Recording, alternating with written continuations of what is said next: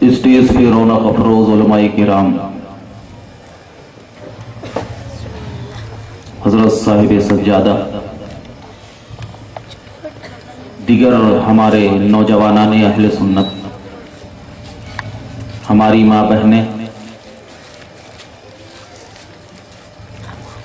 ہمارے عمر رسیدہ۔ تمام لوگوں اور جتنی بھی لوگ ہماری آواز سن رہے ہیں۔ السلام علیکم ورحمۃ اللہ وبرکاتہ۔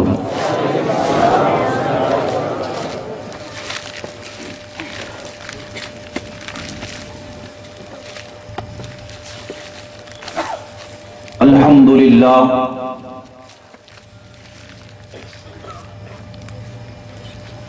الحمد لله نحمده ونستعينه ونستغفره ونؤمن به ونتوكل عليه.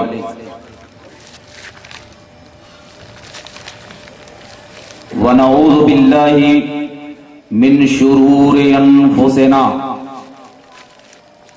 ومن سيئات أعمالنا. من يهده الله فلا مضل له ومن يضلله فلا هادي له. ونشهد أن لا إله إلا الله وحده لا شريك له. ونشهد أن سيدنا ومولانا محمدا عبده ورسوله. أما بعد، قال الله تبارك وتعالى في القرآن المجيد والفرقان الحميد أعوذ بالله من الشيطان الرجيم. بسم الله الرحمن الرحيم.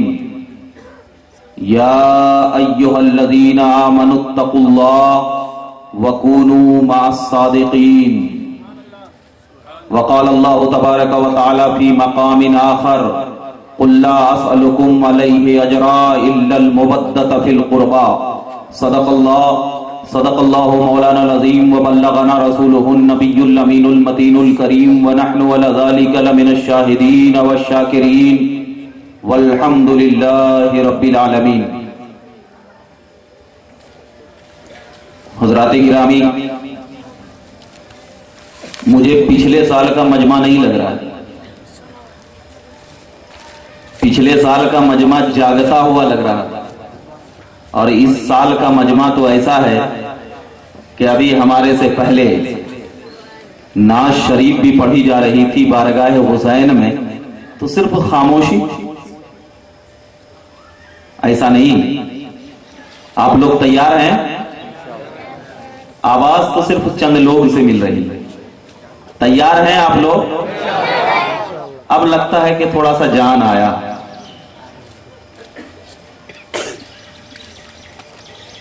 اللہ کے نبی فرماتے ہیں کہ جو یہاں پہ جماتے ہیں نا جماعت، اگر آپ اکیلے اکیلے بیٹھے رہیں تو کوئی حکم ثابت نہیں ہو لیکن اگر اکٹھا بیٹھ جائے، اکٹھا۔ تو حضرت حسان سے پوچھئے کہ حسان بن ثابت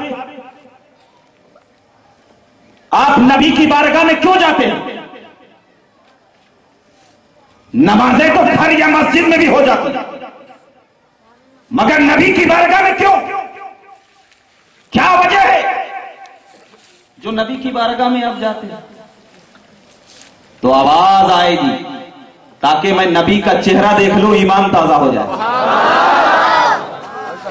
چہرہ مصطفیٰ سے ایمان۔ چہرے مصطفیٰ سے ایمان اور جس کو نبی نے چاہا ہو، وہ بھی ایمان کی بنیاد ہے۔ حسین کو نبی نے چاہا، حسین کو نبی نے چاہا، اپنے گود میں بٹھایا، اپنے سروں سے لگایا۔ تو اب ذرا بتا کہ جب چہرے مصطفیٰ سے ایمان کی تازگی ہے، تو محبت اہل بیت سے بھی ایمان کی تازگی ہوگی۔ ہم یہاں پہ بیٹھتے ہیں نا؟ بیٹھتے ہیں۔ کس لیے بیٹھے؟ دوسرے دن نہیں بیٹھے، آج بیٹھے ہیں۔ کس سے؟ حضرت بابا فرید رحمت اللہ تعالی علیہ کا عرص مبارک۔ ہے اور ابھی ابھی میرے ذہن میں آیا۔ ابھی صاحب ذکر کروا رہے تھے کہ تین سو چھتیسواں عرض ہے۔ اب ذرا اس اس پہ میں غور کرتا رہا۔ کہ تین اور تین چھ ہوتا ہے اور بعد میں چھ ہے، چھ اور چھ بارہ ہوتا ہے۔ اور اس کے بعد والا مہینہ بارہویں کا ہے۔ تو اب یہاں پر بیٹھ کر نبی نے قبول کر لیا کہ لوگوں، سنو، یہ بابا فرید کوئی یہ محلے کا ایک فرد نہیں ہے۔ یہ تو میرا بھیجا ہوا ادولی کی سرزمین کو چمکانے والا ہے کہ یہاں پر بیٹھ کر اگر تم نے ان کو یاد کر لیا تو اگلا مہینہ بارہویں کا نبی قبول کرتے ہوئے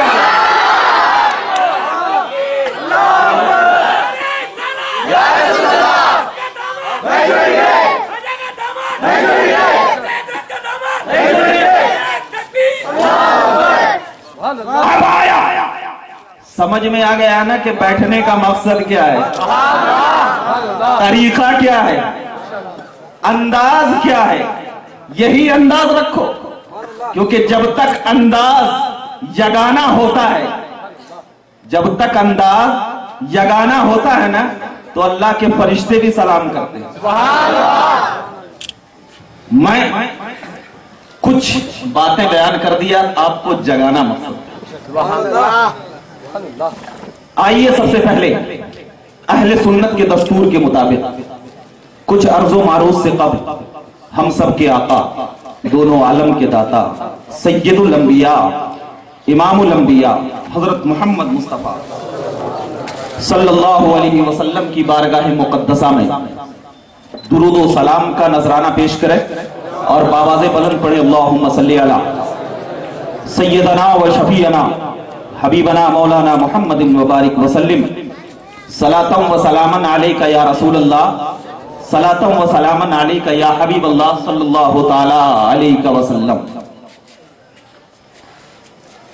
ایک بات امام غزالی نے کیا خوب کہا ہے کہ نبی پر جب درود پڑھو تو یہ تصور کرو کہ نبی ہمارے سامنے موجود ہے اور جب نماز میں ہم اتحیات پڑھتے ہیں، اٹھاؤ امام غزالی رحمت اللہ تعالی علیہ کی کتاب۔ فرماتے ہیں کہ اتحیات للہ والصلوات والطیبات۔ السلام علیکہ ایوہ النبی۔ یہ ہے نا؟ السلام علیکہ ایوہ النبی۔ علیکہ۔ کا جو لفظ ہے السلام علیکہ۔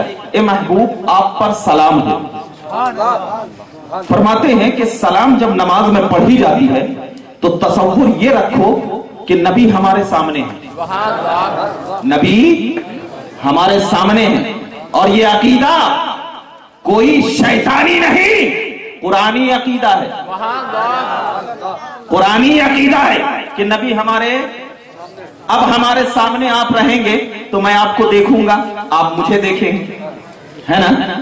اب آؤ، اسی پر لیتا چلنا سانپ کو جانتے ہیں سانپ۔ اللہ کے نبی فرماتے ہیں کہ جب سانپ کی عمر پچیس سال ہو جاتی ہے، سانپ کی عمر پچیس سال ہو جاتی ہے، تو وہ اتنا زہریلا ہو جاتا ہے کہ اگر وہ ایک میٹر دور پر کسی کو دیکھ لے، تو اس کا زہر سے وہ شخص مر جاتا ہے۔ یہ حدیث ہے۔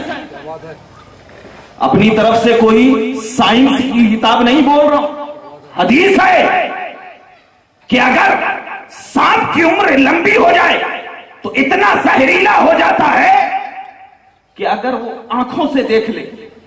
تو ابھی کاٹا نہیں ہے وہ، صرف آنکھوں سے دیکھنے سے اس کا اثر اس کے اوپر چڑھ جاتا ہے، چڑھ جاتا ہے۔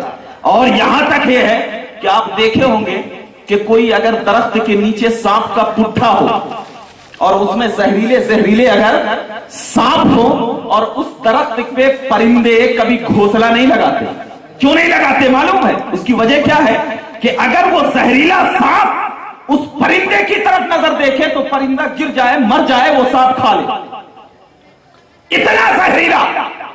تو جب میں یہ حدیث پڑھ رہا تھا، میرے ایمان نے غیرت سے آواز دیا۔ کہ یا رسول اللہ، جب سانپ پچیس سال کا ہو جاتا ہے، تو آنکھوں میں اللہ اس کو اتنی طاقت دیتا ہے کہ اگر وہ دیکھے تو اپنا زہر دوسرے کو پھیلا دیتا ہے کہ وہ دور سے بھی اپنے شکار کو اپنے قریب بلا لیتا ہے۔ یا رسول اللہ، جب سانپ زہریلا ہے، انسانوں کا دشمن ہے، وہ انسان کا کبھی دوست نہیں ہو سکتا آپ تو ہمارے حبیب ہیں آپ تو ہمارے طبیب ہیں آپ تو حکیم امت ہے آپ تو دنیا کے بے سہاروں کے سہارا ہے تو جب سانپ کو اتنی عمر دینے کے بعد اللہ تبارک و تعالیٰ اتنی طاقت دے سکتا ہے تو آپ اگر کسی امتی کو نظر کر دے تو وہ امتی آپ کا ہو جاتا ہے وہ امتی آپ کے ٹکڑوں پہ کرنے لگتا ہے وہ امتی آپ کے نظریوں پہ چلنے لگتا ہے اسی لیے تو ہمارا عقیدہ ہے محبت سے یا رسول اللہ پکار لو نبی تمہارے ہو گئے نبی ہمارے ہو گئے اسی لیے ہم سنیوں کا بنا۔ اے سنیوں، اگر نبی کو قریب کرنا ہے، تو نبی کو یا رسول اللہ کہہ کر پکار لو۔ نبی کی محبت تمہارے سینوں میں آ جائے گی، نبی کی الفت تمہارے رگوں میں بس جائے گی۔ اور جب نبی کی الفت تمہارے سینوں میں بستی چلی جائے گی، تو تمہارا دل بھی روشن، تمہاری زبان بھی روشن۔ یہی وجہ ہے کہ ہم جو درود پڑھتے ہیں نا، کیا پڑھتے ہیں؟ اللہم صلی علی محمد۔ اور امام ازالی کا قول سامنے رکھ کے پڑھنا، نبی موجود ہے قول سامنے رکھ کے کرنا کہ نبی موجود ہے اسی لیے اب سمجھ میں بات آ گئی۔ صحابہ، آپ کی اداؤں پہ اہل سنت کا نوجوان قربان، آپ نبی کے سامنے کیوں بیٹھتے؟ تھے اب بات سمجھ میں آ گئی۔ کہ نبی کی نگاہ پڑے گی، نبی اپنا لیں گے۔ نبی کی نگاہ پڑے گی، نبی اپنا لیں گے۔ اب ہم کو ڈھونڈنا ہے کہ نبی کی نگاہ کن کن کے اوپر پڑ کن پر پڑی کیا نبی کی نگاہ امام حسین پہ پڑی؟ ہم ان کے پیچھے۔ نبی کی نگاہ امام زین العابدین پہ پڑی؟ ان کے پیچھے۔ نبی کی نگاہ غوث اعظم پہ پڑی۔ ان کے پیچھے۔ نبی کی نگاہ خواجہ پہ پڑی۔ ان کے پیچھے۔ نبی کی نگاہ بابا فرید پہ پڑی۔ ان کے پیچھے۔ اے ادھوری کے غیور مسلمانوں، اپنی قسمت پہ ناز کرو کہ اللہ کے نبی نے اپنا بیٹا تمہیں دے کر اپنے قریب بلا لیا ہے اور بتا دیا کہ جو میرا ہو گیا وہ خدا کا ہو گیا اور جو خدا کا ہو گیا اس کا بیڑا تو بالکل پار نظر آئے گا بالکل پار نظر آئے گا۔ اور جب بالکل پار نظر آئے گا نا، اسی بنیاد پر، اسی بنیاد پر جب اپنے آپ کو ذہن و دماغ میں، ذہن و دماغ میں اپنی صورت کو پہچانو کہ ہم کیا کر رہے ہیں، کس بنیاد پہ چل رہے ہیں، کیسی حقانیت کو لے کر چلتے ہیں۔ اسی طریقے کو، اسی قور کو ہم تمام لوگ یاد حسین کا جلسہ مناتے ہیں، عظمت اولیاء کا جلسہ مناتے ہیں۔ یہ اپنے گھر کو راضی نہیں کرتے، نبی کو راضی کرتے۔ یہی چیز جب یہاں پر آپ بیٹھیں گے، تو بیٹھنے کے بعد اپنے ذہن کو ٹٹولو کہ ہم نے یاد کر کے کیا پایا اور کیا کھویا۔ یاد کر کے کیا پایا؟ اور کیا کھویا؟ جب یہ چیز یہاں سے بیٹھ کر نکلو گے نا تو قسم خدا کی تمہارا دنیا بھی روشن ہو جائے گا اور دین بھی روشن ہو جائے گا۔ اب آیت کریمہ کی تلاوت کیا۔ سب سے پہلے آیت کریمہ کی تلاوت کیا۔ یا الذین آمنوا اتقوا اللہ۔ اے ایمان والو اللہ سے ڈرو اس کے بعد اللہ سے ڈرو۔ اس کے بعد تقوی اختیار کیا اللہ سے ڈرو اور سچوں کے ساتھ ہو جاؤ۔ یہ فرمائے، اب اللہ سے ڈر دو طریقے سے ہوتا ہے۔ ڈر جو ہے اللہ سے، دو طریقے سے۔ ایک، یا تو ہم نماز پڑھتے ہیں، روزہ رکھتے ہیں، زکات دیتے ہیں، حج کرتے ہیں کس بنیاد پر؟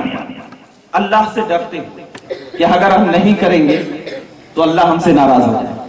یہ تو نہیں مگر کوئی گارنٹی کے ساتھ بتا دے گا کہ میری نماز قبول ہو گئی۔ اگر ہے کسی کی ماں نے اگر ویسا بچہ جنا ہے تو بتا کہ نماز جو پڑھ رہا ہے تیری نماز قبول ہو کوئی ہے؟ کوئی نہیں بتا سکتا کہ میری نماز قبول ہوگی یا نہیں۔ میرا روزہ قبول ہوگا یا نہیں؟ میرا حج قبول ہوگا یا نہیں؟ میری زکات قبول ہوگی یا نہیں؟ کوئی نہیں بتا سکتا۔ لیکن اس سرزمین پر ایک ہستی ایسی ہے، ایک ذات ایسی ہے جو یہ بتاتی ہے کہ میں جب نماز پڑھتا ہوں تو غیب سے آواز آتی ہے کہ شخص میں نے تیری نماز قبول کر لیا۔ ایک ہستی ایسی ہے جس کے بارے میں دنیا کہتی ہے اٹھا کر دیکھو تاریخ۔ بہجت الاسرار اٹھا کر دیکھ کہ ایک ذات ہے جس کے بارے میں فرمایا گیا ہے کہ غوث اعظم جب ایک رکعت میں اپنی پوری قرآن کو تلاوت کرنے کے بعد جب نماز پڑھتے تھے تو آواز آتی تھی یہ ہے غوث۔ کی نماز میں نے قبول کر لیا اب بتا، ہم اس غوث کو اگر ان غوث کے پیچھے چلے جائے تو لوگوں کو پیٹ میں درد کیوں ہوتا ہے؟ کیوں؟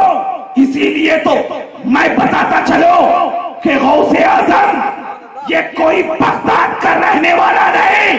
یہ تو نبی کا دلارا ہے۔ یہ تو فاطمہ کی آنکھوں کا تارا ہے۔ یہ تو علی کے نور نظر ہے۔ حسین کا لخت جگر ہے۔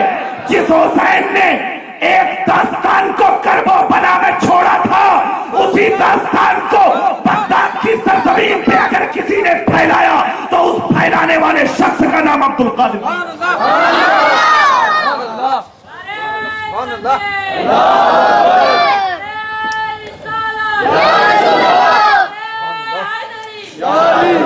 یہی وجہ ہے کہ ہم اپنے جلسوں میں کبھی حضرت علی کا نام لیتے ہیں، کبھی غوث اعظم کا نام لیتے ہیں، کبھی خواجہ خواجگاہ کا نام لیتے ہیں، کبھی مخدوم سمنا کا نام لیتے ہیں، اور کبھی ہم اور اولیاء کرام کا نام لیتے ہیں، اور یہ بتاتے ہیں کہ اے لوگوں ان کے ناموں کو تم ہلکا نہ سمجھنا۔ ان کے ناموں کو ہلکا نہیں سمجھنا۔ کیونکہ ان کا نام اللہ نے قبول کر لیا قبول کر لیا ہے۔ اور کیسے قبول کیا ہے؟ کوئی شاعر، آہا، کیا اپنے شیر کے انداز میں کہتا ہے کہ خاموش ہے تو دین کی پہچان؟ علی ہے۔ ذرا پیچھے سے بھی آواز آئے۔ خاموش ہے تو دین کی پہچان؟ علی ہے۔ گر بولے تو لگتا ہے کہ قرآن علی ہے۔ اللہ اکبر، قرآن تو دیتا ہے ہمیں دعوت ایمان۔ سمجھ میں آیا شیخ؟ قرآن کیا دیتا ہے؟ ایمان کی دعوت دیتا ہے۔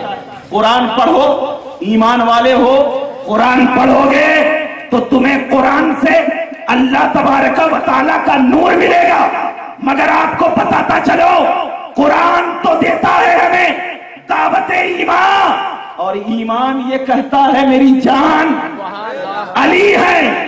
ایمان یہ کہتا ہے میری جان۔ علی ہے۔ اور آخری شیر آپ کے سامنے بتا دو۔ کیا؟ اللہ اکبر کبیرہ۔ فرماتے ہیں علامہ ہاشمی میاں رحمت علامہ ہاشمی میاں جو آپ لوگ جانتے ہیں کہ خطیب اعظم ہیں۔ اور ہم الحمدللہ انہی کے گھرانے سے تعلق رکھتے ہیں، ہمارے پیر و مرشد ہیں ہم بھی اشرفی ہیں، ان کے قدموں کو اپنے سر کا تاج بنا لیتے ہیں۔ اور اگر ان کے قدموں کو اپنے سر کا تاج بنا لو گے نا، تو قسم خدا کی یہاں بھی تم روشن رہو گے اور قیامت میں بھی روشن رہو گے ہر ایک یزیدی سے کہو ہاشمی کھل کر۔ ہر ایک یزیدی سے کہو ہاشمی کھل کر اور میں کہتا ہوں، ہر ایک وہابی سے کہو ہاشمی کھل کر میری جان علی ہے، میرا ایمان علی ہے۔ میری جان علی ہے، میرا ایمان علی ہے۔ جو حدیث دے رہا ہوں، کوئی آ کر کے گلا نہ پکڑے، ہمارے بچوں کو نہ کرے حدیث کہتا ہے، من ماتا علا حب آل محمد ماتا مومنہ، ومن ماتا علا حب آل محمد ماتا علا سنت والجماعت، ومن ماتا علا حب آل محمد ماتا مغفورہ، ومن ماتا علا حب آل محمد. ماتا طائبہ، حدیث مبارکہ ہے، جو اہل بیت کی محبت میں مرا، وہ سنی ہو کر مرا، جو اہل بیت کی محبت میں مرا، وہ طائب ہو کر مرا، جو اہل بیت کی محبت میں مرا، وہ ایسا مرا کہ اس کے گناہ بخش دیے گئے۔ جو اہل بیت کی محبت میں مرا، وہ ایسا مرا کہ وہ ابھی اپنی ماں کے پیٹ سے جنم لیا ہے۔ اب ذرا بتاؤ، علی اہل بیت سے ہے علی کا سہارا ہمارے لیے کافی ہے۔ علی ہمارا ایمان ہے۔ اپنے سینوں میں بسا اپنی ایمان کو سدھارنا چاہتے ہو، اپنی آنکھوں میں نور ایمان لانا چاہتے ہو، اپنی محبت کو علی کا دیوانہ بنانا چاہتے ہو، اپنی آنکھوں میں علی کی الفت لانا چاہتے ہو، اپنی نگاہوں کے علی کو قدموں میں بچھانا چاہتے ہو، اپنے سروں کو علی کے قدموں میں بچھانا چاہتے ہو، تو فائدہ یہ مل جائے گا، تمہارا ایمان بھی سمرتا چلا جائے گا، تمہیں اللہ عزت بھی دیتا چلا جائے گا، اور ایسی عزت دے گا کہ فرشتوں بھی تمہارے در کی رکھوالی کریں گے، فرشتے بھی تمہارا ایمان کی پوچھ تاچھ نہیں کریں گے اور ایک مرتبہ غوث اعظم نے اپنے سر کو حضرت علی کے قدموں میں رکھ دیا اور بتا دیا اے غوث اعظم جو غوث بنا ہے اپنی عبادت کی وجہ سے نہیں بلکہ فاطمہ زہرا کے قدموں میں اپنے سر کو رکھ دیا۔ اللہ نے غوثیت کا مطلب پوچھتے ہوں گے کہ یہ کہاں سے روایت کر دیا کہ غوث اعظم نے اپنے سر کو قدموں میں ڈال دیا؟ اٹھاؤ۔ فتح افریقہ۔ مجدد اعظم کی کتاب ہے۔ الشاہ امام احمد رضا خان فرماتے ہیں فتح افریقہ صفحہ نمبر سیونٹین سترہ۔ کہ اللہ تبارک و تعالیٰ نے جب نبی کریم کو میراج کی رات بلایا۔ میراج کی رات بلایا۔ تو اللہ تبارک و تعالیٰ نے غوث اعظم کی روح کو زمین پر بھیجا۔ غوث اعظم کی روح کو زمین پر بھیجا اور کہا عبد القادر تو دنیا میں سرفراز ہونا چاہتا ہے، بلند ہونا چاہتا ہے، تو تیری بلندی اب میں بتاؤں گا کہ کیسے ہونی چاہیے۔ اللہ کے رسول صلی اللہ علیہ وسلم ابھی براق پر چڑھنے ہی والے تھے۔ کہ حضرت غوث اعظم کی روح نبی کریم کے قدموں کے نیچے آ گئی۔ اللہ. کے نبی نے اپنا سیدھا قدم غوث اعظم کی گردن پہ رکھا۔ گردن پہ رکھا اور پھر براق پر بیٹھ گئے۔ اللہ اکبر کبیرہ دیکھو امام الانبیاء نے اپنے قدم کو غوث اعظم کے سر پر رکھ کر بتا دیا کہ غوث اعظم ابھی تیرے سر قدموں پر ابھی تیرے گردنوں پر امام الانبیاء کا قدم پڑا ہے۔ آگے جو جب بغداد میں اعلان کرے گا کہ میرا قدم تمام اولیاء پر ہے، تو جس طرح میں امام الانبیاء ہو اسی طرح میں تجھے امام الاولیاء بنا دے تو یہ غوث اعظم نے گردن کو اس لیے جھکایا تھا کہ امام الانبیاء نے غوث اعظم کو امام الاولیاء بنا دیا۔ ذرا بتا آج لوگ چالیس چالیس دنوں تک چلا کرتے ہیں۔ ٹولی لے کر پھرتے ہیں۔ پھر بھی کوئی ولی نظر نہیں آتا کیوں؟ اس لیے کہ ولایت یہ فاطمت الزہرا کے گھر کی دھول ہے۔ ارے تو فاطمہ کا جب نہ ہوا علی کا جب نہ ہوا تو تو نبی کا کیسے ہو سکے گا؟ پہلے تو علی کو راضی کر۔ پہلے تو فاطمہ کو راضی کر۔ کیوں؟ جس نبی نے حضرت فاطمت الزہرا کے آنکھوں میں کبھی آنسو نہ دیکھا ہو۔ جس نبی نے حضرت فاطمت الزہرا کا کھلتا ہوا چہرہ دیکھا ہو۔ آج یہ کچھ نام نہاد مولوی حضرت علی کو گالی دیتے حضرت فاطمہ کے گستاخی کرتے ہوئے نظر آتے ہیں۔ نبی کو راضی کرنا ہے نا؟ میں طریقہ بتا نبی سے پوچھا گیا، یا رسول اللہ، ہمارے سامنے سب لوگ داڑھی والے بھی ہیں، ٹوپی والے بھی ہیں، سب لوگ ہیں، لیکن ان کو پہچانے کیسے کہ کون وفادار ہے اور کون غدار ہے۔ کیسے پہچانے؟ اللہ اکبر، آواز آئی جو میرے علی کا نام سن کر مسکرانے وفادار۔ اور جو میرے علی کا نام سن کر چہرہ مرجا جائے غدار۔ اب ذرا دیکھ، اب ذرا دیکھ کہ ایمان کی سلامتی محبت اہل بیت میں ہے۔ ایمان کی سلامتی محبت اہل بیت میں ہے تو تم مسلمان تو ہو سکتے ہو لیکن اگر ایمان کو بچانا ہے تو محبت اہل بیت کرتے جاؤ ایمان بچتا چلا جائے۔ اسی لیے تو اسی لیے کہا گیا کہ نماز ہوتی کب ہے اور نماز بچتی کب ہے۔ نماز ہوتی کب ہے؟ نماز بچتی کب ہے؟ تو فرمایا گیا، جب چہرہ کعبت اللہ کی طرف ہو تو نماز ہوتی ہے۔ چہرہ کعبت اللہ کی طرف ہو تو نماز ہوتی ہے اور دل رسول اللہ کی طرف ہو تو نماز بچتی ہے۔ دل رسول اللہ کی طرف ہو تو نماز بچتی ہے۔ ارے، ہمارے خانقاہوں نے تو ہمیں بتا دیا کہ نماز پڑھتے پڑھتے بچانا کیسے ہے۔ نبی کی محبت کو اپنے دل میں رکھنا، نبی کی یاد کو اپنے دل میں سجانا۔ کیوں؟ نماز تو پڑھ لو گے۔ مگر بچتی رہے گی جب تک محبت رسول تیرے سینے میں رہے گی۔ محبت رسول تیرے سینے میں رہے گی۔ اور اسی بنیاد پر ہم الحمدللہ جب نماز پڑھتے ہیں نا، تو ہمارے دل میں رسول اللہ کی یاد ضرور ہوتی ہے۔ ہوتی ہے نا؟ ہوتی ہے کہ نہیں؟ ہوتی ہے۔ اور جب ہوتی ہے، تو اسی ہونے کو بچنا بھی کہتے ہیں۔ بچنا بھی کہتے ہیں۔ اسی لیے تو اللہ نے کہا کہ یا ایوہ الذین آمنوا اللہ۔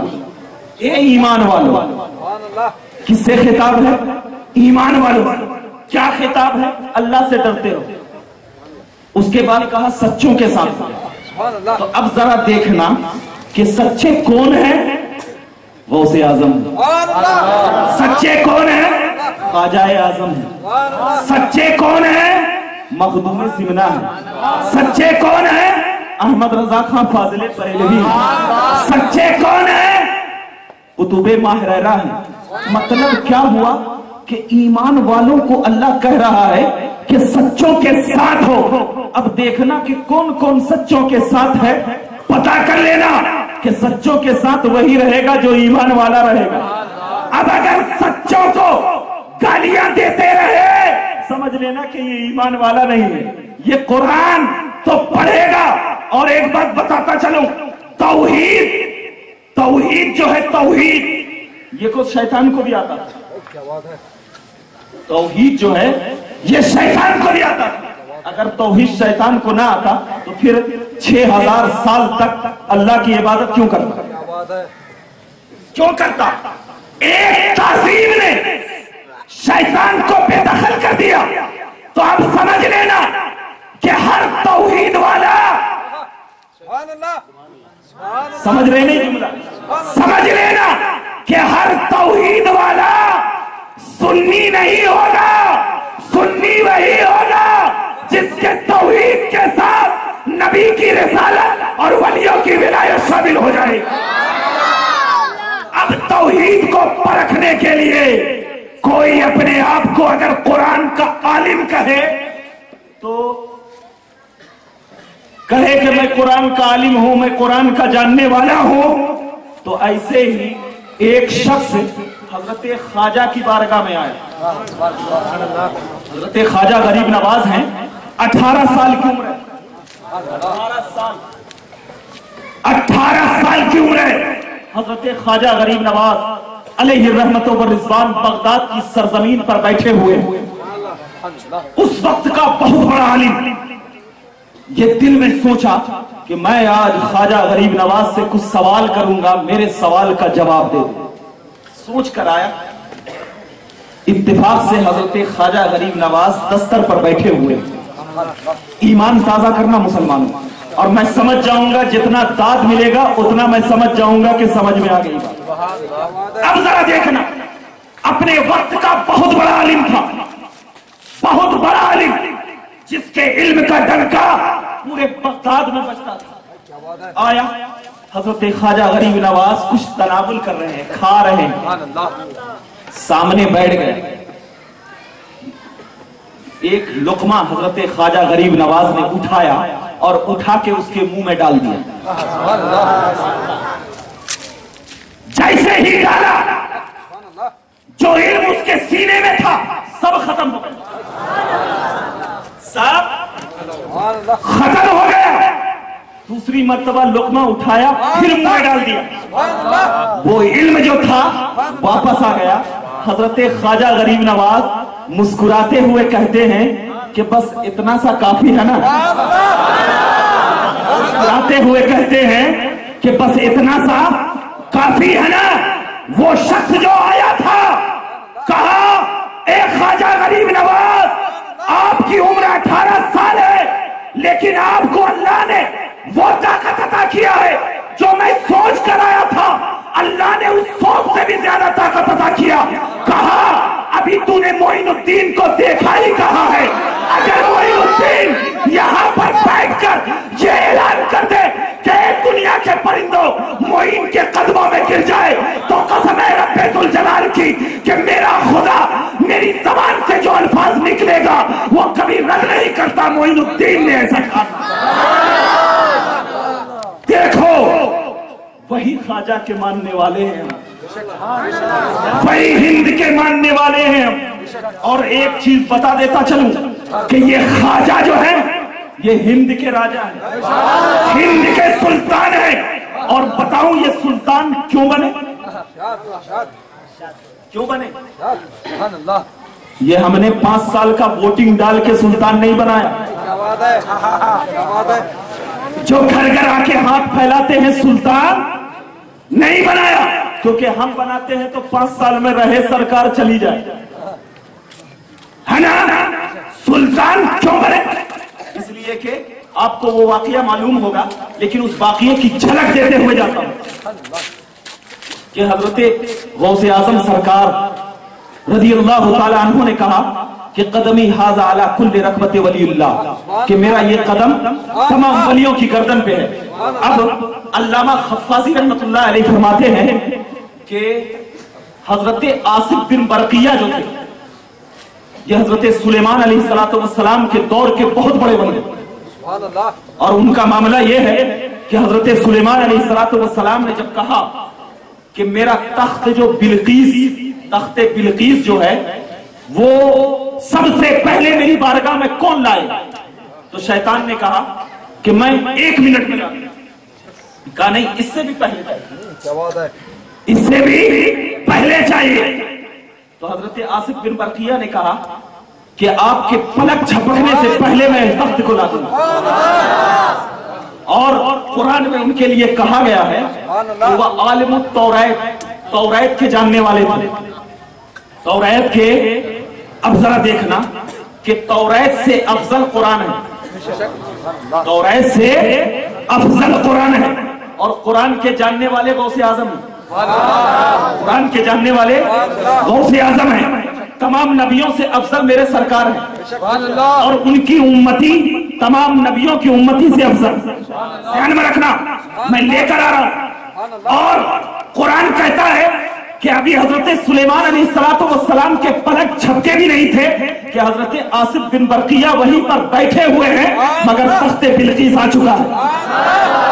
بیٹھے ہوئے ہیں تخت بلقیس آ چکا ہے۔ اب کچھ لوگوں کو یہ بات ہضم نہیں ہوتی تو ہضم ہو یا نہ ہو قرآن کہتا ہے۔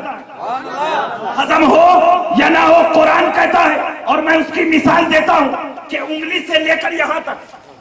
انگلی سے لے کر یہاں تک۔ اگر آپ کو ڈاکٹر آپریشن کرنا ہو تو پہلے انجیکشن دیتا ہے نا تاکہ ہاتھ سند ہو جائے۔ اب یہ ہاتھ کیا کر رہا ہے مجھے نہیں معلوم۔ دونوں ہاتھ میں اگر انجیکشن دے دیا گیا تو ہاتھ کیا کر رہا ہے مجھے نہیں معلوم۔ اب آپ کو جب ہوش آئے گا لوگ کہیں گے ارے آپ کا ہاتھ فلا کو مارا آپ کا ہاتھ فلا کو مارا تو آپ کہیں گے کہ مجھے تو یاد ہی نہیں۔ میں تو بے ہوش تھا۔ ڈاکٹر کے انجیکشن کے پڑنے کی وجہ سے دو تین گھنٹہ بے ہوش ہو گیا۔ آ، ڈاکٹر کا انجیکشن اتنا زہریلا کہ آدمی کو بے ہوش کر دے۔ آہا، ایک مثال یاد آ گئی کہ ڈاکٹر کے انجیکشن سے آدمی کا ہاتھ کیا کر رہا ہے؟ نہیں معلوم۔ نبی فرماتے ہیں کہ جب بندے مومن اللہ تبارک و تعالیٰ کے لیے نفل نمازیں پڑھ کے خدا کا قریب ہو جاتا ہے خدا کا قریب ہو جاتا ہے، خدا اپنے قریب کر لیتا ہے۔ تو اب دنیا اس کو بھلا دیتا ہے۔ دنیا بھلا دیتا ہے۔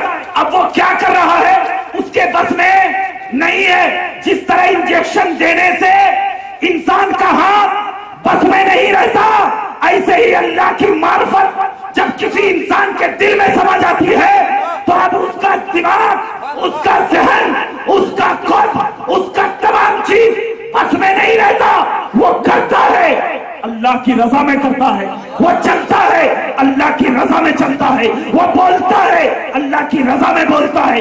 تو اسی لیے اللہ کے ولی اپنے جسم پر ان کا کوئی اختیار نہیں ہوتا کیوں اس لیے کہ وہ ولی اپنے جسم کو خدا کی بازاروں میں بیچ دیتے ہیں۔ اور جب بیچ دیتے ہیں، خدا اس کو خرید لیتا ہے۔ اب وہ تصرف کرتے ہیں تو خدا کے حکم سے کرتے کرتے ہیں خدا کے حکم سے۔ ذہن میں آ گئی بات؟ آ گئی نا اسی لیے آصف بن برقیہ بیٹھے ہوئے ہیں، لیکن تخت بلکیس آ گیا۔ آ گیا۔ توریت کے عالم تھے۔ توریت کے جاننے والے تھے۔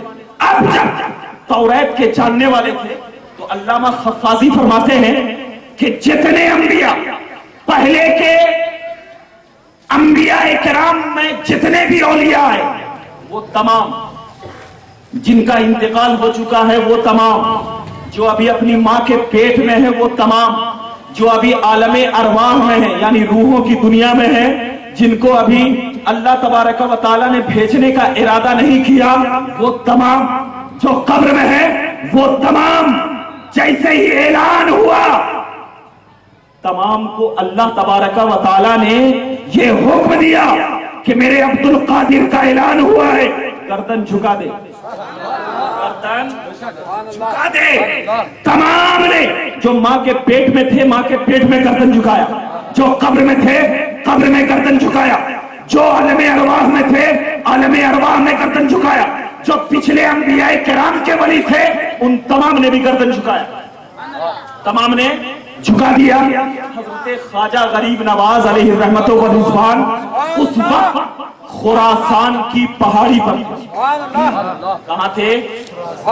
خراسان کی پہاڑی پر تھے۔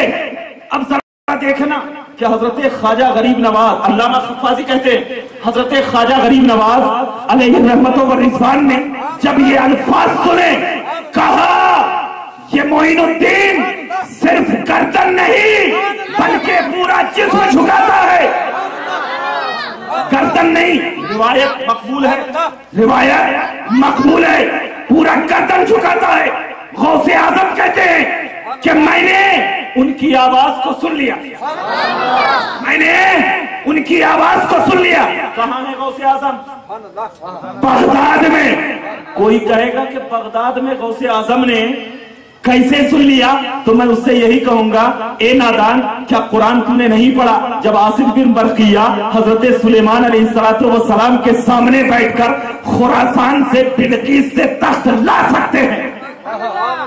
سامنے بیٹھ کر بلقیس سے تخت لا سکتے ہیں۔ تو یہ آصف بن برقیہ سے افضل میرے عبد القادر جیلانی ہے جب ایک مفضول وہ کام کر سکتا ہے تو افضل تو بدرجے اولا وہ کام کرے گا۔ بدرجے اولا وہ کام کرے گا۔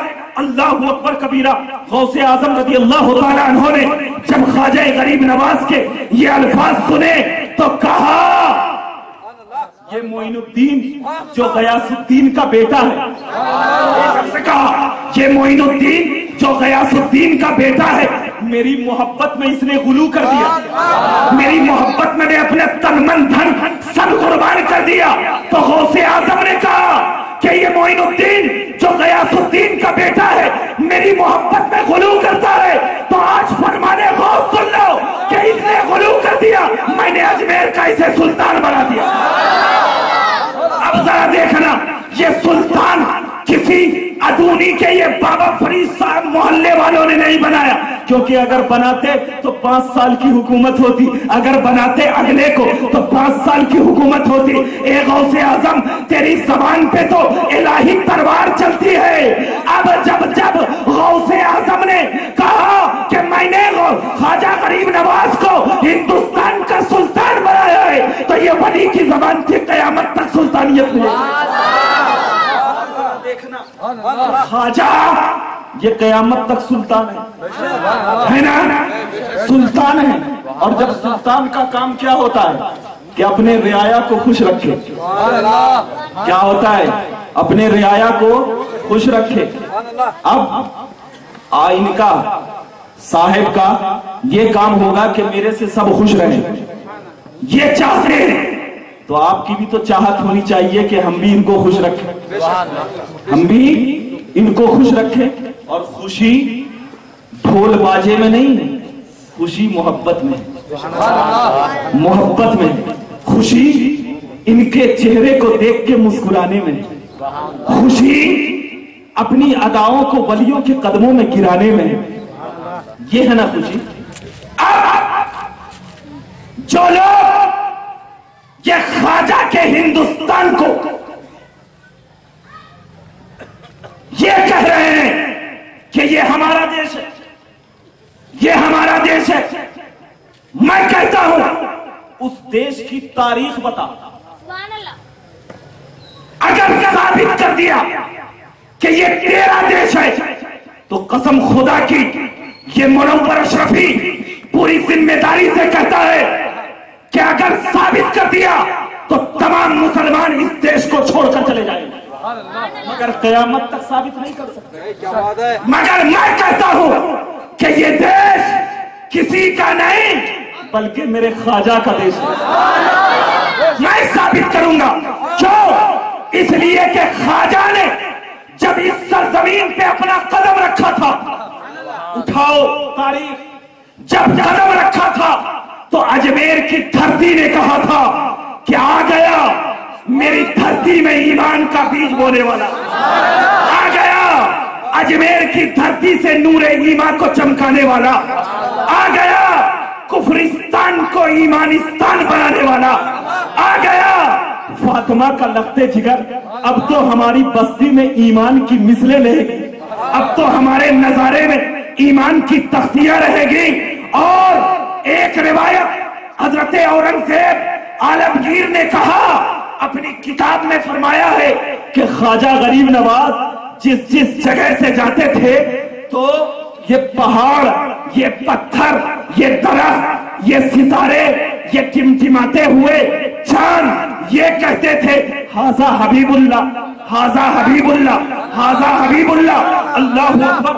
حضرت خواجہ کے ساتھ دو چند مرید تھے، آواز کو سن کر کہتے تھے، یہ کہاں سے آواز آ رہی ہے؟ ادب و احترام سے حضرت معین الدین چشتی اجمیری کی بارگاہ میں گئے، کہا، یا اے میرے خواجہ، اے میرے آقا، یہ آواز آتی ہے۔ حاضر حبیب اللہ، یہ کون سی آواز ہے؟ یہ کس کے لیے آواز ہے؟ تو حضرت خواجہ نے بہت ادب و احترام سے کہا تھا، اللہ اکبر کبیرہ، یہ آواز مدینے والوں کا دین ہے۔ یہ آواز اس وقت سے آ رہی ہے میری کانوں میں، جب میں مدینہ کی سرزمین پہ اپنے پیر و مرشد اللہ عثمان حارونی علیہ رحمت و عزیزان کے ساتھ تھا۔ کیونکہ میں نے جب مدینہ والوں کی بارگاہ میں سلام کیا تھا، تو اللہ کے رسول نے کہا تھا وَعَلَيْكُمْ السلام أَنْتَ حَبِيبُ اللَّهِ اے تم پر سلام کی ہو، تو اللہ کا حبیب ہے، تو اللہ کا چنندہ ہے، تو اللہ کا برگزیدہ ہے۔ اس وقت سے پتھر بھی مجھے حبیب اللہ کہتی ہے، درخت بھی مجھے حبیب اللہ کہتی ہے، پہاڑ بھی مجھے حبیب اللہ کہتی ہے۔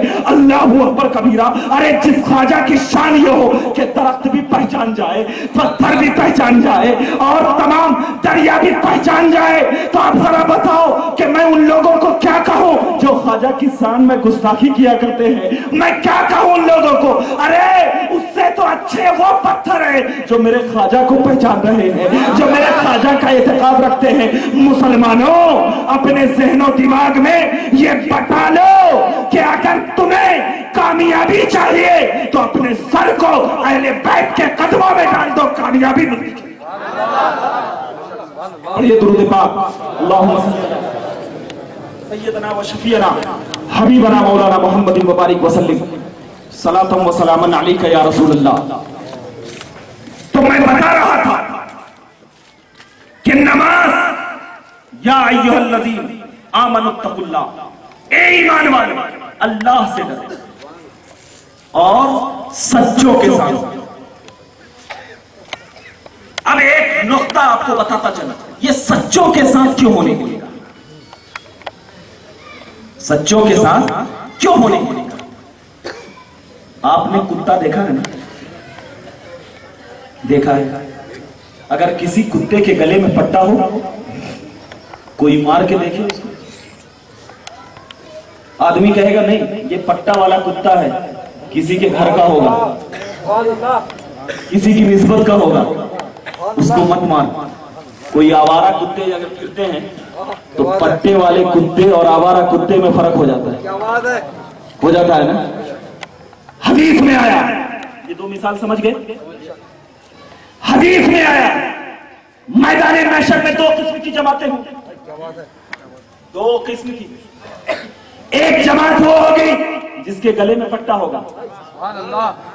اور ایک جماعت وہ ہوگی جس طرح یہاں پھرتے ہیں ویسے پھرتے ہوں گے۔ اللہ اکبر۔ فرشتے پٹے والے کے پاس جانے کی کوشش کریں گے۔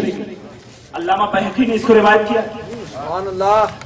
پٹے والے کے پاس جانے کی کوشش کریں گے غائب سے آواز آئے گی۔ فرشتے اس کے پاس مت جا مت جا عرض کریں گے مولا کیوں؟ کہا یہ تو نسبت والا ہے۔ یہ تو اپنے گلے میں پٹا لے کر آیا ہے، بھائی جان لے کر آیا ہے۔ تو اس کے پاس کیوں جاتا ہے؟ اگر تو جائے گا اس کے پاس، تو اس کے جو امام ہے اس کے جو امام ہے وہ کہیں گے مولا، یہ تو میرے نسبت والا تھا۔ یہ تو میرا چاہنے والا تھا۔ اب ذرا دیکھ۔ کہ یہ سید ساجد پاشا قبلہ حیدرآباد کی سرزمین پہ ضرور رہتے ہیں۔ لیکن محبت محبت آپ سے ہے۔ اسی لیے تو آتے ہیں۔ آتے ہیں۔ تو اب ذرا دیکھنا کہ آپ اپنے آپ کو بڑوں سے، ارے، ان کے قدموں میں گر جاؤ، پتہ چل جائے گا۔ کہ جب قیامت میں اللہ تم سے سوال کرے گا تو کہہ دینا، میرے گلے میں تو ساجد کا پکتا ہے۔ مجھ سے مت پوچھ، پوچھنا ہے تو ان سے پوچھ۔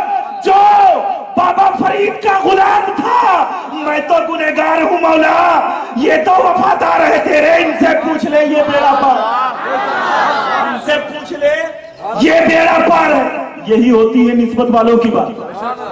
یہی ہوتی ہے نسبت والوں کی بات اب ذرا دیکھنا قبر میں، یہ حشر میں جب فرشتے کہیں گے نسبت والا ہے، مت پوچھ مت پوچھ بغیر نسبت والے کو پوچھیں گے بھی نہیں فرشتے۔ اٹھائیں گے جہنم میں ڈالیں۔ گے اٹھائیں گے جہنم میں ڈالیں گے۔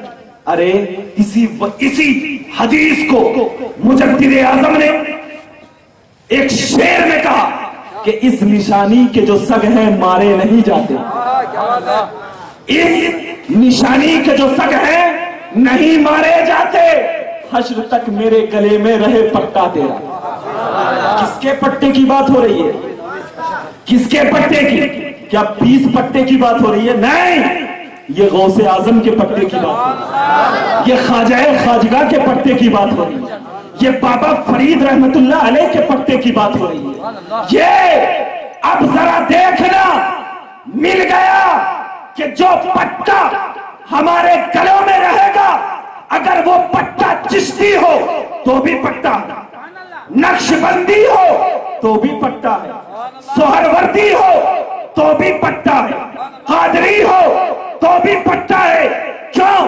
اس لیے کہ جب چاروں کو ملا دیا جاتا ہے تو یہ چار کہنی ہیں۔ درخت تو علی مرتضی ہے۔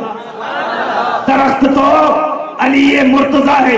جب غوث اعظم سے پوچھا جائے گا، اے غوث اعظم، یہ تیرا مرید ہے؟ تو غوث اعظم کہیں گے، اللہ مجھ سے مت پوچھ، علی سے پوچھ۔ خواجہ غریب نواز کہیں گے، مولا مجھ سے مت پوچھ، علی سے پوچھ۔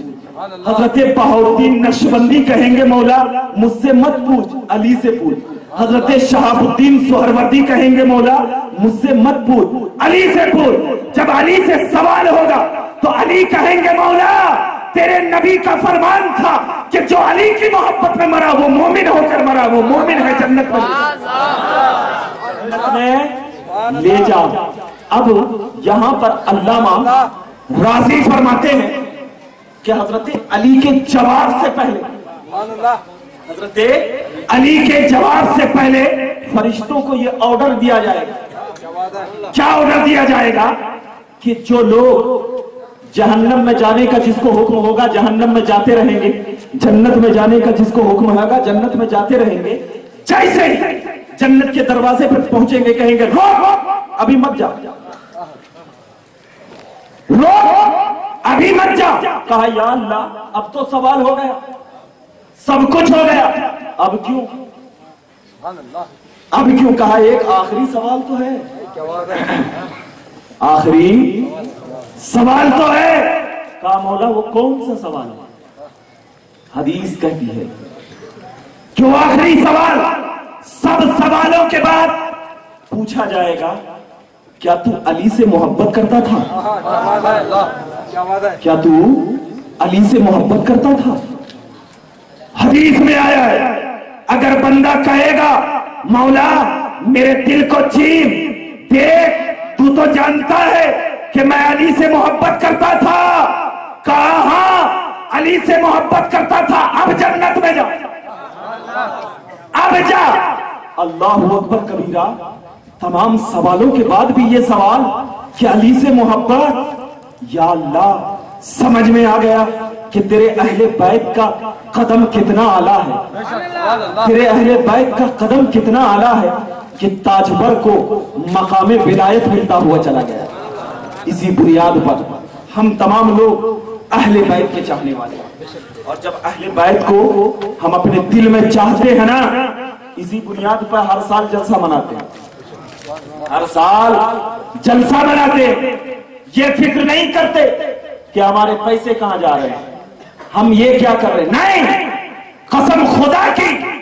اللہ کے رسول فرماتے ہیں کہ جو بندے مومن میری آل کی محبت میں ایک روپیہ بھی خرچ کرے گا، یہ محمد عربی اس رب ذوالجلال کی قسم کھا کر کہتا ہے کہ میں اس شخص کو ہاتھ پکڑ کر جنت میں لے کر بہت خوش نصیب ہیں آپ لوگ کہ اللہ نے آپ کو یہ چن لیا کہ اہل بیت کی محبت کے خاطر آپ اپنے مال کو قربان کر رہے ہیں۔ مگر ہاں محبت میں کوئی ایسی غلطی نہ ہو جائے جو ساری محنت پہ پانی پھر جائے۔ ابھی میں لوج میں تھا، میں نے دیکھا کہ چند بچے ہیں جو ڈھول ہے، تاشا ہے، ناچ ہے، گانے ہیں مرفا ہے، لے کر کے چادر لے کر آ رہے ہیں۔ بتاؤ اگر ایک طرف زمزم رکھا جائے اور ایک طرف شراب کا ایک قطرہ رکھا جائے اور وہ قطرہ زمزم میں ملا دو تو وہ زمزم ناپاک ہو جائے کیوں؟ حالانکہ آپ کہیں گے یہ قطرہ ہی ہے نا وہ تو اتنا تھا۔ وہ تو اتنا تھا یہ تو قطرہ ہی ہے نا۔ تو اب یہاں پر یہ نہیں دیکھا جائے گا کہ وہ اتنا تھا ایک قطرہ بھی چلا گیا پورا آپ محبت میں تین دن سے عرض کر رہے ہیں۔ کوئی پل کرتا ہے، کوئی فاتحہ دیتا ہے، صاحب دعا کرتے ہیں مگر جب اختتام ہوتا ہے، تو ہمارے نوجوان بچے، وہ ڈھول، وہ تاشا، وہ بازے، وہ مرفے، وہ تمام لے کر آپ اپنی پوری کوشش کو مٹی میں ملا دیا ارے، یہ بابا فرید ہے۔ اللہ اکبر کبیرہ۔ ایک مرتبہ کا واقعہ ہے۔ کرنول کی سرزمین پہ بیٹھے ہوئے ایک شخص آیا۔ آ کر کہنے لگا کہ آپ یہ فلا چیز کھا لیجیے۔ اس کے ہاتھ میں چاقو تھا۔ کیا تھا؟ چاقو تھا۔ اور وہ جو چیز تھی، گوشت تھا، مگر بابا فرید نے اپنی ولایت سے دیکھ لیا تھا۔ کہ یہ گوشت کو جو ذبح کیا گیا ہے، یہ بسم اللہ ہی اللہ اکبر کہہ کر ذبح نہیں کیا گیا۔ یہ کوئی مولوی نہیں دیکھتا ہے، ولی دیکھتا ہے۔ ولی دیکھتا ہے، کہا نہیں کھاؤں گا۔ تو اس شخص نے کہا، اے فرید، اگر تو نہیں کھائے گا، تو میں تجھے چاقو ماروں۔ گا کہا فرید کو یہ چھوٹی سی چیز سے ڈراتا ہے؟ یہ چھوٹی سی چیز سے ڈراتا ہے۔ کہا ایسا کہا کیوں نہیں کھائے کہا تجھے یہ گوشت لایا ہے؟ یہ گوشت بسم اللہ اللہ اکبر کہہ کر ذبح نہیں کیا گیا۔ کہا اے فرید آپ تو یہاں ہیں۔ آپ نے دیکھا کیسے؟ آپ نے دیکھا کیسے؟ کہا جو اللہ کی معرفت میں اپنی دین کو، اپنے تمام جسم کو قربان کر دیتا ہے، اللہ ساری زمین کو اس کے لیے ان کے نظروں کے سامنے کر دیتا ہے۔ بیٹھتا یہاں ہے، لیکن کائنات پہ اس کی نظر ہوا کر کائنات پہ اس کی نظر ہوا کرتی ہے۔ اور یہ فرید شریعت کے خاطر جان تو دے سکتا ہے۔ لیکن شریعت کو کبھی قربان نہیں کر سکتا۔ شریعت کو کبھی قربان تو درس کیا ملا ہے جان دے دو۔ سب کچھ قربان کر دو۔ لیکن جب شریعت پہ آ جائے جان دے دینا۔ مگر شریعت پر کبھی انگلی اٹھنے نہیں دینا۔ پڑھیے درود پاک اللہ سیدنا و شفینا حبیبنا مولانا محمد۔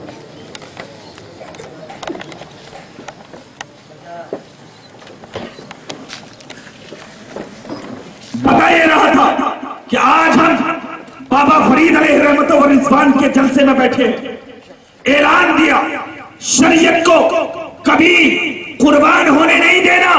آج دیکھو ماحول، ہندوستان کا ماحول دیکھو۔ کبھی طلاق ثلاثہ یعنی تین طلاق پہ بدلنے کی کوشش کی جا رہی ہے۔ ظلم و ستم کیا جا رہا ہے مسلمانوں میں پوچھتا ہوں ایک چیز دینا چاہتا ہوں۔ امام حسین ہے امام حسین ہے ارے کم سے کم نام سن کر تو دل سے محبت کی دعا دو۔ امام حسین ہے ان کے مقابلے میں کون تھا؟ یزید۔ نمازی تھا؟ نماز پڑھتا تھا؟ مگر صحابی کا بیٹا۔ تھا حضرت امیر معاویہ جو ہے صحابی رسول ہیں، ہم ان کے قدموں میں اپنے سر کو رکھتے ہیں۔ صحابی کا بیٹا، یزید صحابی کا بیٹا، مگر امام حسین نے کہا کہ تو شریعت محمدی کو بدلنے آیا ہے۔ شریعت محمدی کو بدلنے آیا ہے۔ قسم خدا کی، یہ حسین سر دے دے گا۔ لیکن تیرے اس چیز کو یہ حسین جوتی کی نوک پہ رکھ کر کہے گا کہ تو اگرچہ صحابی کا بیٹا ہے، مجھے اس سے کوئی لینا دینا نہیں۔ لیکن اگر تو میرے نانا کے دین کو بدلے گا، یہ حسین اپنے سر کو تو دے دے گا، لیکن نانا کے دین کو کبھی بدلنے نہیں دے گا۔ نہیں بدلنے دے گا۔ اور ایک بات بتاؤ کہ امام حسین نے سر دے دیا۔ سر دے دیا۔ کیوں دیا سر؟ ہاتھ کیوں نہیں دیا؟ امام حسین نے سر دیا ہاتھ نہیں دیا۔ کیوں؟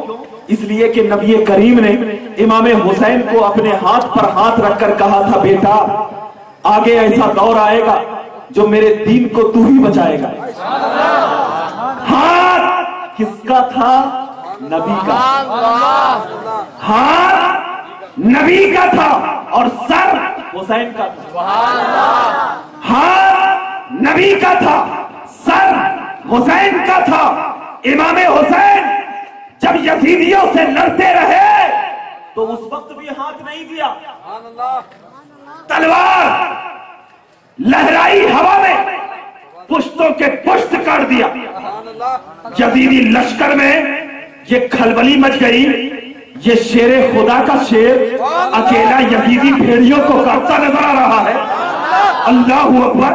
اب اس کے ہاتھ کو قابو میں کیا جائے۔ لیکن امام حسین نے کہا اے یزید جب میں جیتے جیتے تجھے ہاتھ نہیں دیا تو مرتے مرتے تجھے ہاتھ کیسے دوں گا؟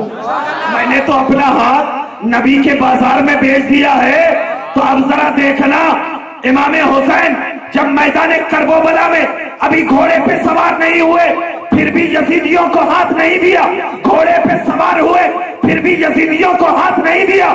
نماز کی حالت میں رہے، پھر بھی یزیدیوں کو ہاتھ نہیں دیا۔ کیوں؟ اس لیے کہ امام حسین نے بتا دیا کہ میں نے اپنے ہاتھ کو نبی کے بازار میں بیچ دیا ہے۔ جب امام حسین جیتے جیتے تجھے ہاتھ نہیں دے رہا ہے، تو اب امام حسین اپنے گردن کو تو کٹا لے گا یزیدیوں۔ لیکن امام حسین اس وقت بھی ہاتھ نہیں دے گا۔ اس وقت بھی ہار نہیں دے گا۔ تو اب تاریخ کوا ہے۔ امام حسین کا گردن تو کٹ گیا۔ لیکن ہاتھ سلامت رہا۔ کیوں؟ اس لیے کہ ہاتھ میں نبی کا دین تھا۔ ہاتھ میں نبی کا دین تھا۔ کیسا دین؟ کہ خواجہ غریب نواز نے کہا بنا ہست حسین۔ ایسا دین کہ امام حسین شہید تو ہو گئے۔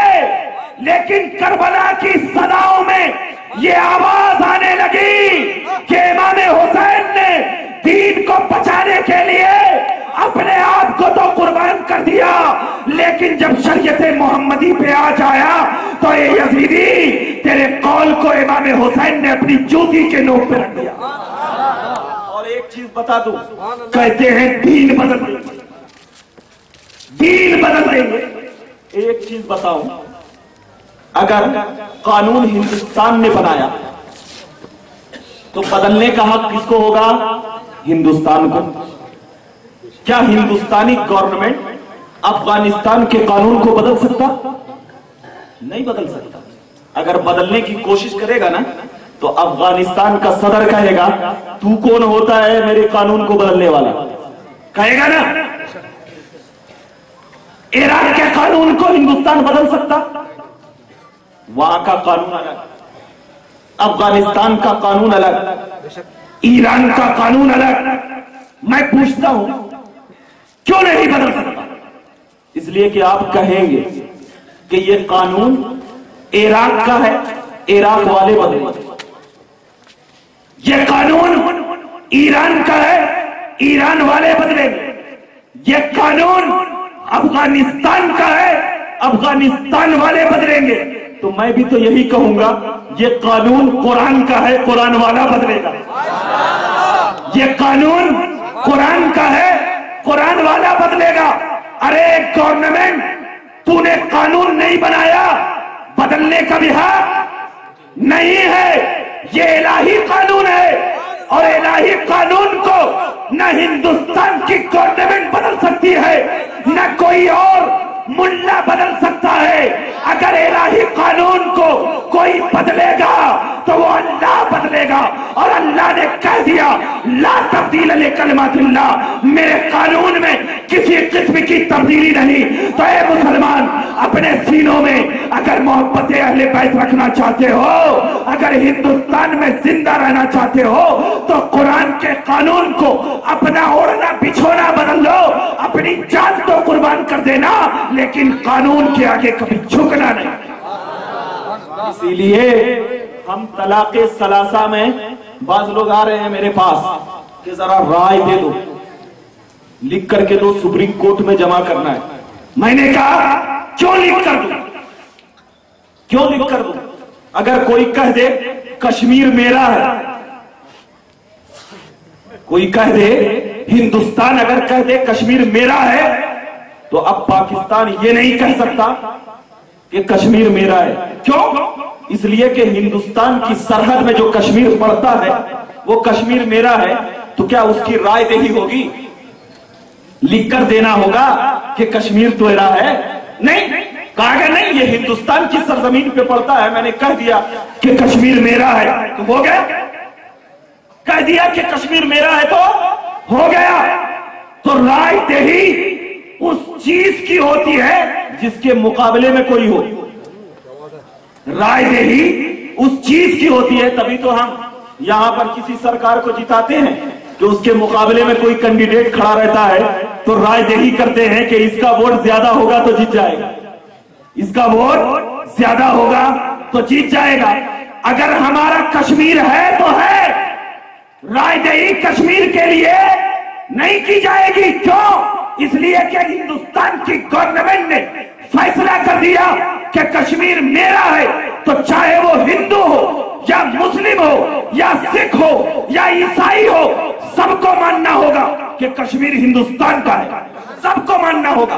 تو ایسے ہی ہمارے مذہب میں قرآن کی بہت بڑی تعظیم ہے، عظمت ہے۔ قرآن نے کہہ دیا کہ طلاق ثلاثہ ہے تو ہے، اب اس کو کوئی ہندوستان کی گورنمنٹ کو یہ حق نہیں بنتا کہ اب اس کے لیے رائے دہی کیا جائے کیونکہ یہ مذہب کی بات ہے، اور ہندوستان گورنمنٹ کو یہ حق نہیں بنتا کہ کسی کی مذہب پر تم دھاوا ڈالو، کسی کی مذہب پر بولو، کیونکہ جب ہم تمہارے مذہب کو چھیڑتے نہیں ہیں، تو تمہیں بھی حق ہے کہ تم بھی ہمارے مذہب کو نہ چھیڑو۔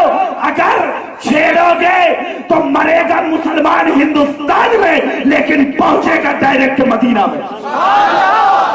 یہ ہمارا حق ہے۔ ہم کبھی اپنے حق کو چھوڑنا نہیں چاہتے۔ ہم کو چھیڑو نہیں۔ ہم بہت پیسفل نبی کے پیسفل امتی ہیں۔ ہم کو نہ چھیڑو۔ کیوں؟ اس لیے کہ علی کو دشمنوں نے چھیڑا تھا تو خیبر کو علی نے اکیلے اکھاڑ دیا تھا۔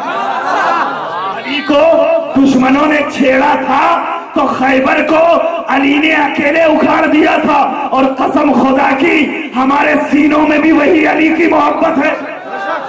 وہی علی کی محبت ہے۔ ارے، جو علی کا چاہنے والا پتھروں کو کلمہ پڑھا سکتا ہے۔ جو علی کا چاہنے والا درختوں کو اپنے قدموں میں گرا سکتا ہے۔ کیا آپ نے واقعہ نہیں سنا کہ اجمیر کی سرزمین پہ جب خواجہ غریب نواز گزر رہے تھے، ایک مورتی کو دیکھا۔ ایک مورتی کو دیکھا۔ لوگ عبادت کر رہے ہیں، پوجا کر رہے ہیں۔ تو خواجہ غریب نواز نے ان پادریوں سے کہا کہ تم اس کی کیوں پوجا کرتے کیوں کرتے ہو تو کہا، اس خوف سے پوجا کرتے ہیں کہ کہیں اللہ ہمیں پتھروں کے نیچے دبا دبا کر نہ مارے۔ روایت میں دبا دبا کر نہ مارے کہا ایسا؟ کہا اس کی پوجا چھوڑ دو کہا اے معین الدین اگر تم اس پتھر کو بلوا دو گے تو ہم اس کی پوجا چھوڑ دیں گے۔ اجمیر کی دھرتی گواہ اس وقت آسمان کے ستارے بھی گواہی دے رہے ہوں گے۔ ہمارا تو یقین ہے جس نے دیکھا ہوگا گواہی دیا ہوگا۔ حضرت خواجہ نے اس مورتی کو نہ ہاتھ لگایا کیا بات ہے؟ نہ پیر لگایا نہ کچھ بھی نہیں لگایا۔ حضرت اورنگزیب عالمگیر کہتے ہیں کہ حضرت خواجہ نے اپنی نگاہ نبوت کا نور اس کی آنکھوں میں دیکھا۔ اللہ نے حضرت خواجہ کی دیکھنے کی وجہ سے اس مورتی میں جان ڈال دیا۔ اب وہ مورتی بولنے لگی۔ خواجہ معین الدین چشتی۔ یہ معین الدین چشتی ہے جس نے مجھے دوزخ میں جانے سے بچا دیا۔ اللہ اکبر تاریخ کے الفاظ گواہ ہیں۔ جو لوگ کہتے ہیں کہ ولی مر گئے ارے جو ولی مردوں میں جان ڈال سکتا ہے وہ ولی اپنے قبروں میں کیسے زندہ نہیں رہ سکتا؟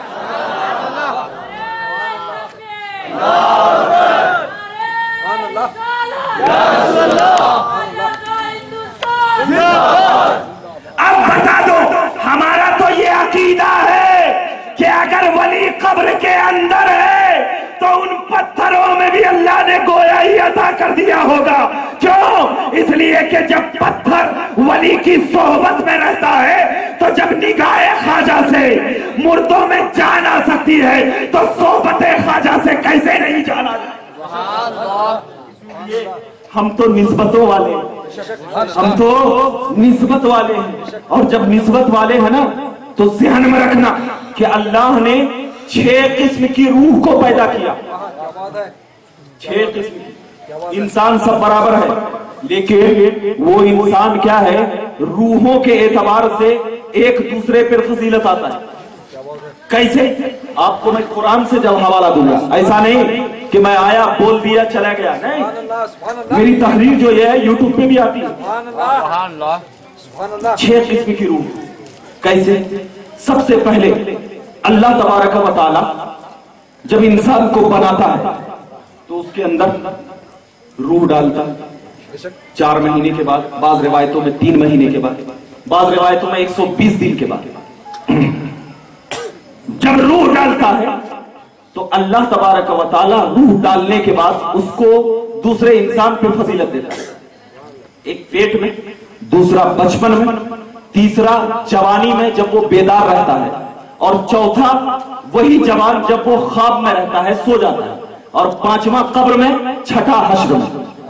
چھ قسم چھ قسم اب اب وہ روح کی وجہ سے انسان ایک دوسرے سے ممتاز ہوتا ہے، اسے فضیلت ملتی ہے۔ آؤ، حضرت ابو بکر صدیق ہے اپنی والدہ کے پیٹ میں۔ ابھی اللہ کے نبی صلی اللہ علیہ وسلم نے نبوت کا اعلان نہیں کیا۔ ان کی والدہ بتوں کی پوجا کیا کرتی تھی۔ کافر تھی۔ پوجا کیا کرتی تھی۔ ابھی نبوت کے اعلان سے پہلے۔ مگر جب حضرت ابو بکر صدیق اپنی والدہ کے پیٹ میں تھی، تو ان کی والدہ جب بتوں کے سامنے جھکنا چاہتی تھی، تو حضرت ابو بکر صدیق ان کے پیٹ میں گدلیاں کرتے تھے۔ اور ان کے پیٹ میں درد ہوتا تھا، تو یہ بار بار ہونے لگا۔ تو ان کی والدہ اس وقت کے سب سے بڑے عالم کے پاس گئی۔ کہا کہ جب جب سے میں پریگننٹ ہوئی ہوں، میرے پیٹ میں بچہ ہے، میں یہ محسوس کرتی ہوں کہ جب میں بتوں کے سامنے جاتی ہوں تو میرا بچہ میرے پیٹ میں حرکت کرنے لگتا اور میں بتوں کے سامنے عبادت نہیں کر سکتی، پوجا نہیں کر سکتی۔ آخر کیا وجہ؟ تو اس عالم نے کہا کہ تیرے پیٹ میں کوئی درد نہیں ہے، یہ جو تیرا بچہ ہے نا، اللہ تبارک و تعالی نے اسے چن لیا ہے۔ تو یہ نہیں چاہتا کہ بتوں کے سامنے چھوٹ جائے۔ اب ذرا دیکھنا۔ بچے تو اور بھی ہیں۔ بچے تو اور بھی ہیں۔ لیکن یہ بچہ ممتاز ہو گیا۔ ایسے ہی جب غوث اعظم اپنی والدہ کے پیٹ میں تھے۔ غوث اعظم جب اپنی والدہ کے پیٹ میں تھے، انار توڑنے کے لیے گئی۔ واقعہ مشہور ہے۔ انار توڑنے کے لیے گئی۔ مگر کچھ حرکت کی وجہ سے ان کی والدہ نے انار نہیں توڑا، دیکھا تو اس انار کے درخت پر سانپ ہے۔ تو اللہ روحوں کے اعتبار سے بعض بچوں کو پیٹ میں ہی ممتاز کر دیتا ہے۔ ممتاز کر دیتا ہے۔ اس کے بعد جب بچہ پیدا ہوتا ہے، ایک دن کا ہوتا ہے، تو وہ دوسروں بچوں سے ممتاز ہوتا ہے۔ کیسے؟ حضرت عیسیٰ علیہ السلام کی جب پیدائش ہوئی۔ حضرت مریم نے جب اپنے بچے کو لے کر عیسائیوں کے پاس گئی، کہا، یہ میرا بیٹا ہے۔ کہا نا، تو کہا، اے مریم، ان لوگوں نے کہا تھا کہ اے مریم، یہ بچہ کہاں سے لائی ہے؟ کہاں سے لائی ہے؟ تو حضرت مریم نے کہا کہ مجھے اللہ نے ایک دن کا روزہ، چپ رہنے کا روزہ رکھا کا۔ اس سے ہی پوچھ لے۔ اس سے ہی پوچھ لے۔ تو بچپن میں ایک دن کے بچے نے گواہی دیا تھا انی نبی اللہ آتانی الکتاب. کہ میں اللہ کا نبی ہوں، مجھے اللہ نے کتاب عطا کیا اور اللہ نے دوسرے بچے سے روح کی بنیاد پر ممتاز کیا نا۔ کیا کہ نہیں؟ ذرا ذہن میں رکھنا۔ جو لوگ کہتے ہیں کہ نبی ہماری طرح ہے، ابھی ان کے لیے بھی یہ دلیل ہے۔ اب ذرا دیکھ، ایک بچہ پیٹ میں ہے، لیکن جب روح ڈالی گئی دوسرے بچے سے اللہ نے ممتاز کر دیا۔ ایک بچہ ابھی ایک دن کا ہے لیکن انسانیت کے اعتبار سے برابر لیکن روح میں اللہ نے ممتاز کر دیا۔ کر دیا نا؟ اب تیسری بات لو۔ میں نے چھ چیزیں بتائی۔ تیسری بات لو۔ کہ ایک بچہ ہے یا ایک جوان ہے۔ بچہ نہیں جوان ہو گیا۔ وہ سو گیا۔ سو گیا۔ اب جب سو گیا سونے کے بعد اس کو خواب میں آیا۔ کہ میں نے اپنی بیوی کو تین طلاق دے دیا۔ خواب میں بول دیا۔ خواب کی بات ہے۔ شریعت کہتی ہے کہ طلاق واقع ہے۔ نہیں ہوگا۔ خواب میں اگر طلاق دے دیا اپنی بیوی کو طلاق واقع نہیں ہوگا۔ یا اگر سو گیا سوتے سوتے نماز کا وقت گزر گیا۔ شریعت کہتی ہے گناہ نہیں اٹھو تو پڑھ لو۔ اٹھو تو پڑھ لو۔ کیونکہ خواب کا اعتبار اسلام میں نہیں ہے نا؟ لیکن آؤ، قرآن کہتا ہے۔ حضرت ابراہیم علیہ السلام والسلام ہے کہتے، انی رائی تو فی المنام کہ میں نے اے بیٹے اسماعیل خواب دیکھا ہے کہ ان اصبح لکا کہ میں تجھے ذبح کر رہا ہوں۔ اب ایک طرف دیکھ کہ خواب میں اگر کوئی عام انسان دیکھ لے کہ میں نے بیوی کو طلاق دے دیا ہے۔ طلاق واقع نہیں۔ کوئی دیکھ لے کہ میں نے قتل کر دیا ہے اور اس کے اوپر کوئی گناہ نہیں۔ نماز کا وقت گزر جائے اس کے اوپر کوئی گناہ نہیں کہ اٹھ کر کے نماز پڑھ۔ لیکن ابراہیم علیہ السلام نے خواب دیکھا تھا اور اپنے بیٹے سے کہا تھا کہ میں نے خواب میں یہ دیکھا ہے کہ میں تجھے ذبح کر رہا ہوں۔ حضرت اسماعیل نے کہا کہ یہ اللہ کا اگر فرمان ہے تو میں حاضر ہوں۔ میں حاضر ہوں۔ اب ذرا دیکھ کہ جب اللہ کا فرمان حضرت ابراہیم علیہ السلام کو بیداری میں نہیں آیا تھا۔ خواب میں آیا تو اب ان کی بھی روح دوسرے روحوں سے ممتاز ہو گئی۔ ان کی بھی روح دوسرے روحوں سے ممتاز۔ تین باتیں ہو گئی۔ چوتھی بات، انسان بیداری میں کیا ایک دوسرے پر فضیلت ہوتی ہے کیسے؟ روح کے اعتبار سے۔ اس کی مثالیں تو ہزار موجود ہیں۔ اس کی مثالیں ہزار موجود ہے کیسے ہزار موجود ہے آؤ، نبی کریم صلی اللہ علیہ وسلم کی بارگاہ میں چلتے ہیں۔ اللہ اکبر کبیرہ۔ اللہ کے نبی صلی اللہ علیہ وسلم نماز پڑھا رہے ہیں۔ کیا پڑھا رہے ہیں؟ غور سے سنو۔ میری باتوں کو کیونکہ عقیدہ دے رہا ہوں؟ کہ ولی سے کیسی محبت ہو؟ نبی کریم نماز پڑھا رہے ہیں۔ اللہ کے نبی صلی اللہ علیہ وسلم رکو میں پہنچ گئے۔ رکو میں پہنچ گئے۔ اتنا لمبا رکو کر دیا۔ کہ صحابہ کرام پریشان ہو گئے کہ اتنا لمبا رکو کیوں ہوا؟ لمبا رکو ہونے کے بعد دیکھتے کیا ہے کہ حضرت علی آرام سے آ رہے ہیں۔ نماز میں حضرت علی شامل ہوئے رکو میں گئے، نبی کریم پھر رکو سے اٹھے۔ نبی کریم پھر رکو سے ہوئے اللہ اکبر کبیرہ علی، یہ مقام۔ کیوں نہ کہیں یا علی علی کیوں نہ کہے ارے جو نبی علی کے لیے رکو کو لمبا کرتا نماز ہو گئی۔ صحابہ نے پوچھا، یا رسول اللہ، اتنا لمبا رکو آپ نے کبھی نہیں کیا، آخر کیا وجہ ہے؟ نبی کریم نے کہا، حکم آیا تھا، جبرائیل آئے تھے، کہہ رہے تھے، یا رسول اللہ اس وقت تک آپ رکو سے نہ اٹھے جب تک کہ علی رکو میں سوال نہ ہو جائے۔ میں نے علی کے لیے اپنی رکو کو لمبا کیا۔ اللہ اکبر۔ علی، وہ مقام اب علی کی طرف نبی متوجہ ہوئے۔ کہا، علی، اتنی دیر کیوں ہوئی؟ اتنی دیر کیوں ہوئی؟ آؤ، اٹھاتے ہیں حدیث کی کتاب۔ کیا ان لوگوں کو یہ سب حدیث نہیں ملتی؟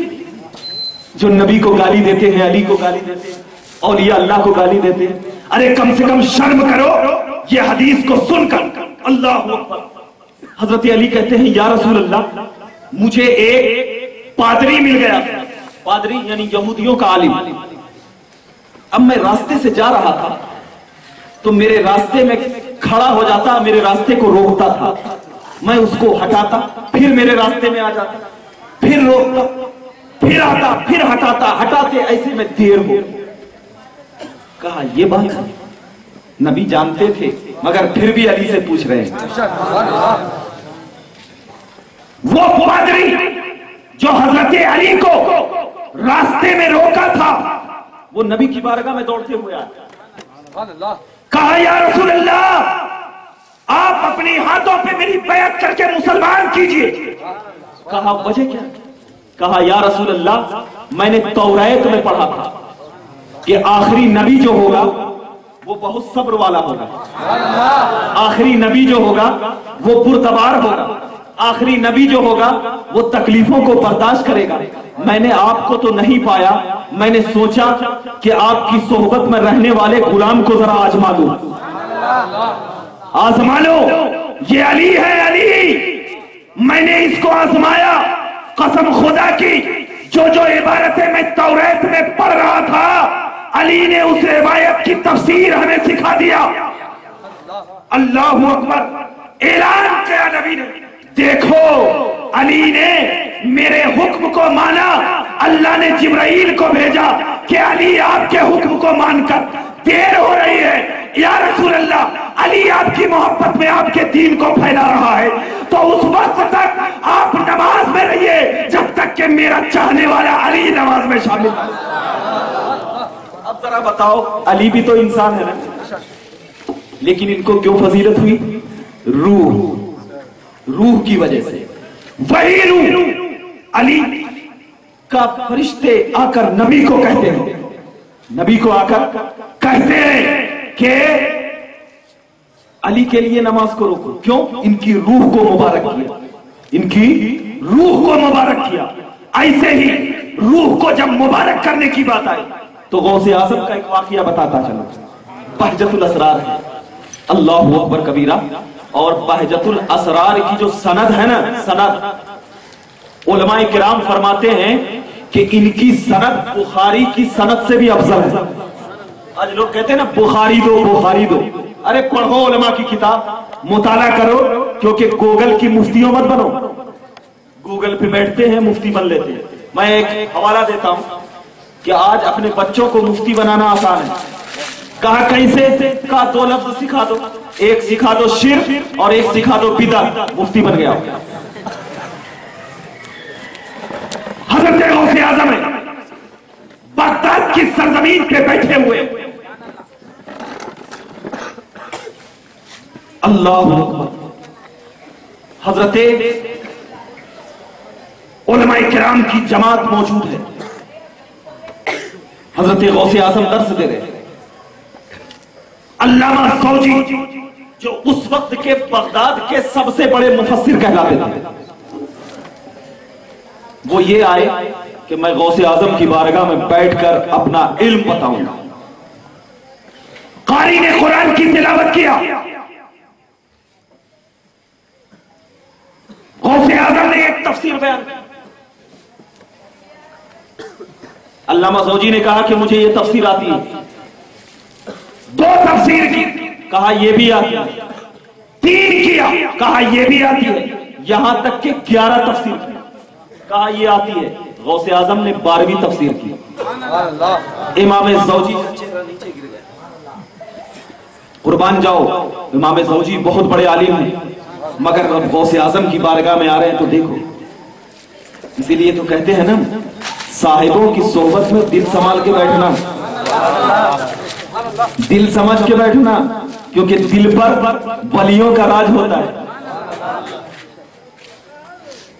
فرمایا گیا کہ غوث اعظم نے ٹوٹل چالیس تفسیر کر ڈالی۔ جیسے ہی تفسیر کر ڈالی غوث اعظم نے کہا کہ یہ تو ابھی میں نے وہ کچھ بیان کیا ہے جو میرا ظاہری علم کہتا ہے۔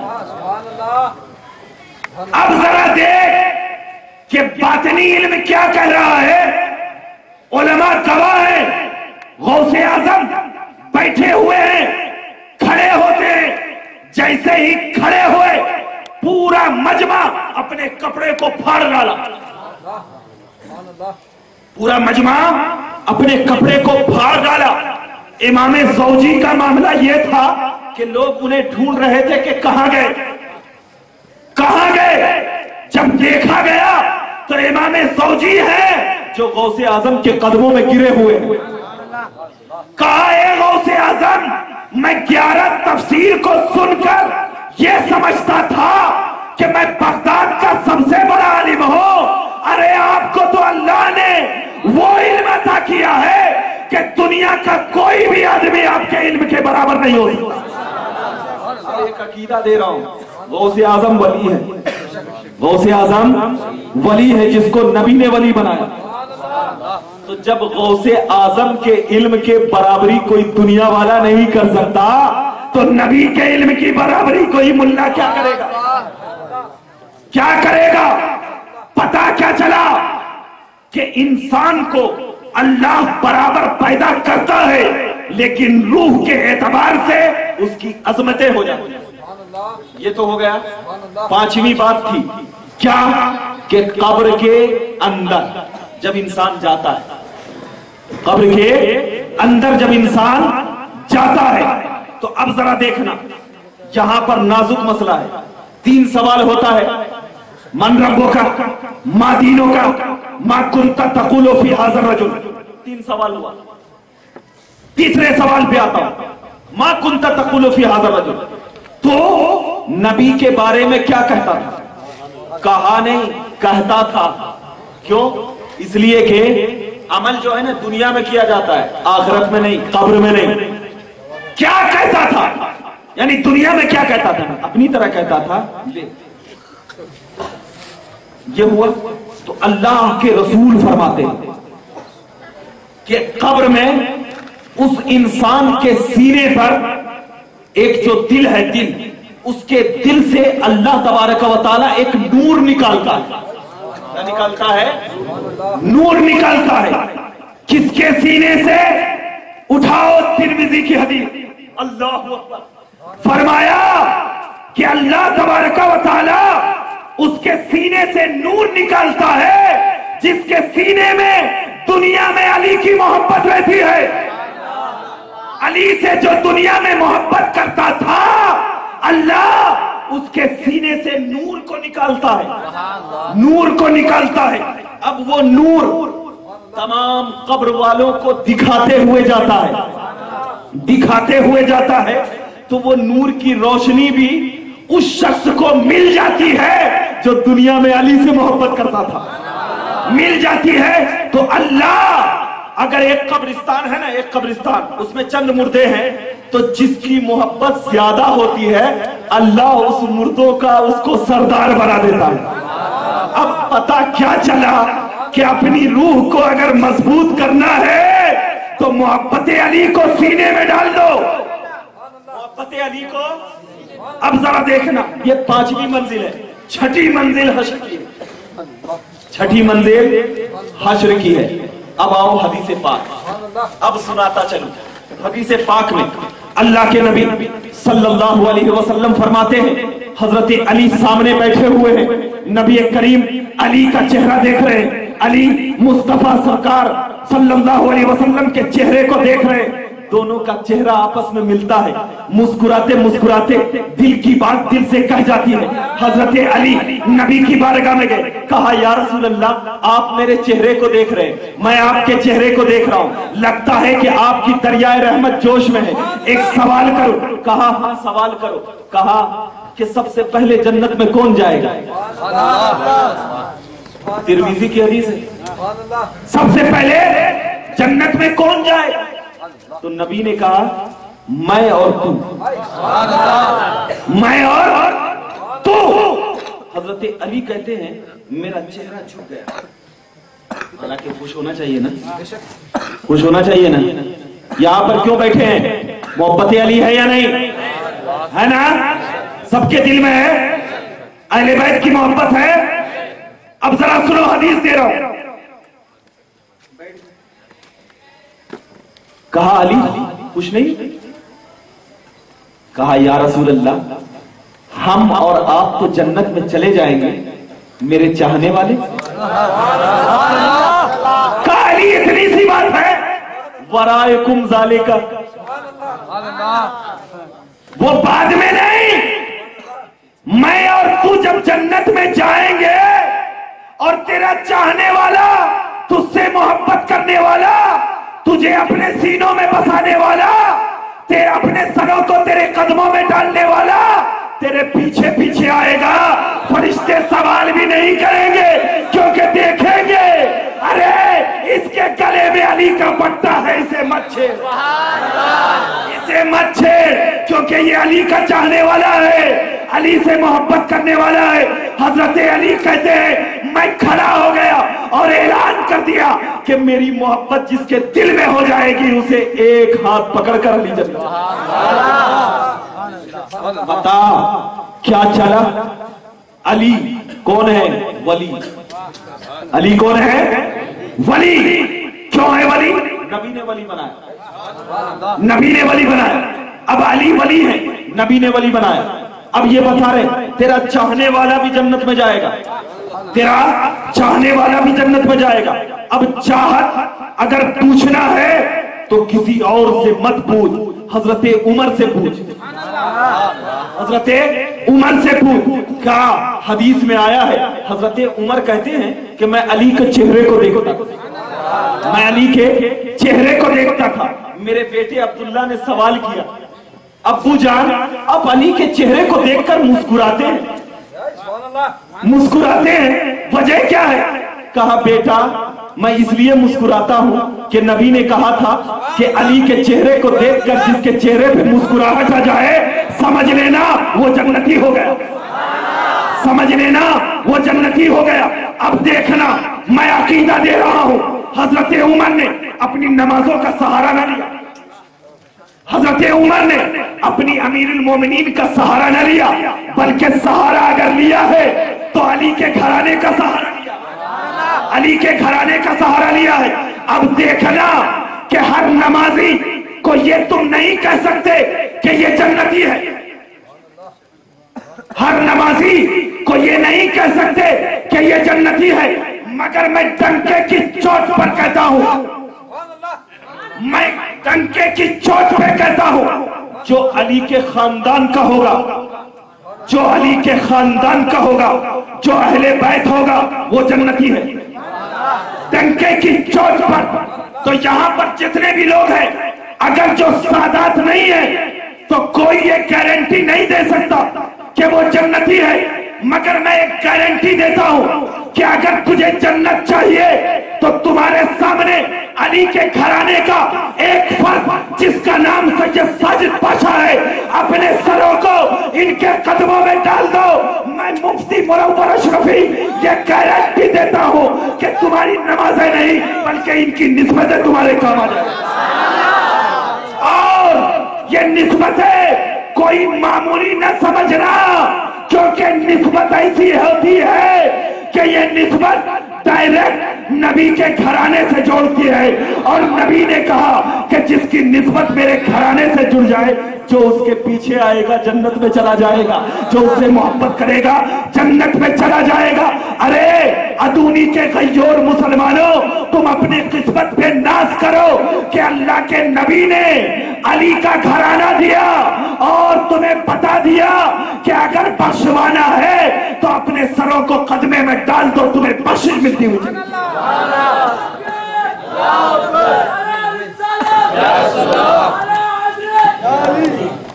ایک بار درود کریم پڑھی اللہ صلی اللہ۔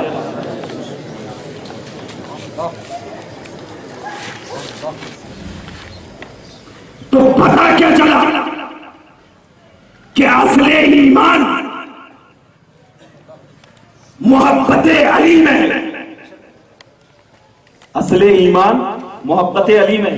اسی لیے تو امام شافعی نے کہا تھا کہ حب و اہل بیتی فرض علیکم کما فرض اللہ تعالی الصلاة والزکاة والحج کہ اہل بیت کی محبت تم پر ایسی فرض کی گئی جیسے کہ تم پر نماز فرض ہوئی، روزہ فرض ہوا زکات فرض ہوا۔ اب ذرا دیکھنا۔ امام شافعی ہیں۔ یہ کوئی ملا نہیں بلکہ امام فرمایا اہل بیت کی محبت تم پر ایسے فرض ہے جیسے کہ نماز روزہ۔ اب جس طرح نماز پڑھتے ہیں روزہ رکھتے ہیں نا تو ایسے ہی اہل بیت کی محبت بھی تمہارے دل میں ہونی چاہیے۔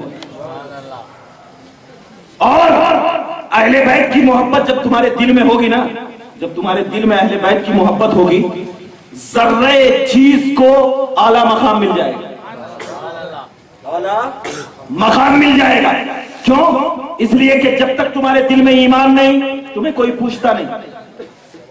جوگی جے پال جب تک کافر تھا، کوئی پوچھتا نہ تھا۔ خواجہ کے در پہ گرا، ولی بنا دیا۔ وہ چور کافر تھا، کوئی پوچھتا نہ تھا۔ غوث کے در پہ گرا، قطب بنا دیا۔ اور ایسے ہی ایک مورتی کھڑے ہو کر، کھڑی رہی۔ حضرت مخدوم اشرف جہانگیر کا ایک واقعہ بیان کر دوں۔ کیونکہ میرا حق بنتا ہے، میں اشرفی ہوں۔ حق بنتا۔ ایک مرتبہ حضرت بسخاری ایک جگہ پہلے گھوڑا گاڑی چلتی۔ تھی اپنے مرید، دو مرید کے ساتھ اس پالکی پر بیٹھ کر چل رہے تھے اپنی خانقاہ کی طرف۔ اتفاق سے دیکھا کہ راستے میں ایک خوبصورت مورتی ہے۔ حضرت سامنے بیٹھے تھے دو مرید جو تھے پیچھے تھے، ان میں سے ایک مرید وہ پالکی سے اتر گیا اور اس مورتی کو غور سے دیکھنے لگا۔ غور سے دیکھنے لگا۔ حضرت اپنے مرید کے ساتھ خانقاہ پہنچ گئے۔ جب خانقاہ میں پہنچے تو اللہ کے ولی جو ہے نا، ولی، اپنی نگاہوں کو نیچے رکھتے ہیں۔ سب کچھ جانتے ہوئے بھی انجان بن جاتے ہیں۔ کیوں؟ اس لیے کہ دیکھنا چاہتے ہیں کہ ولی ولی ہے۔ پہنچ گئے، اپنے ایک مرید سے پوچھا کہ فلاں بندہ کہاں ہے؟ تو مسکراتے ہوئے مرید نے کہا، حضرت، وہ راستے میں خوبصورت مورتی تھی۔ وہ دیکھنے لگا کہا، جاؤ، بلا کر آؤ۔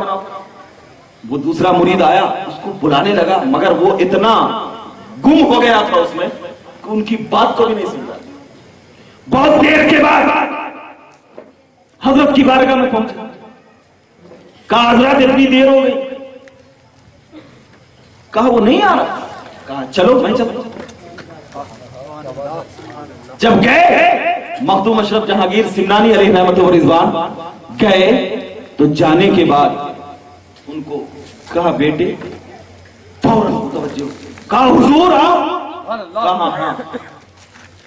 تو مخدوم اشرف سمنانی جہانگیر نے کہا کہ تم اس سے محبت کرتے ہو؟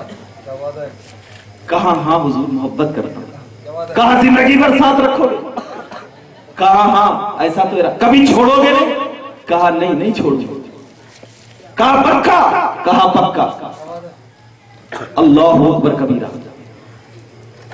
حضرت مخدوم اشرف جہانگیر نے اس مورتی کے اوپر ہاتھ پھیرا تو خوبصورت دوشیزہ بن گئی۔ مگر آج بھی وہ خاندان موجود ہے کہ دوشیجہ جو بنی، لیکن ان کے ناخون پتھر کے رہے۔ یہ چمڑے کے ناخون نہیں ہیں، پتھر کے ہی ہیں۔ تاکہ دنیا کو معلوم ہو جائے کہ اس کو مخدوم اشرف سمنانی جہانگیر نے پتھر سے دوشیزہ بنایا۔ ہے اللہ اکبر کبیرہ، اب ذرا دیکھ، آ، ولیوں کی طاقت کے بارے میں پوچھنا چاہتا ہے نا۔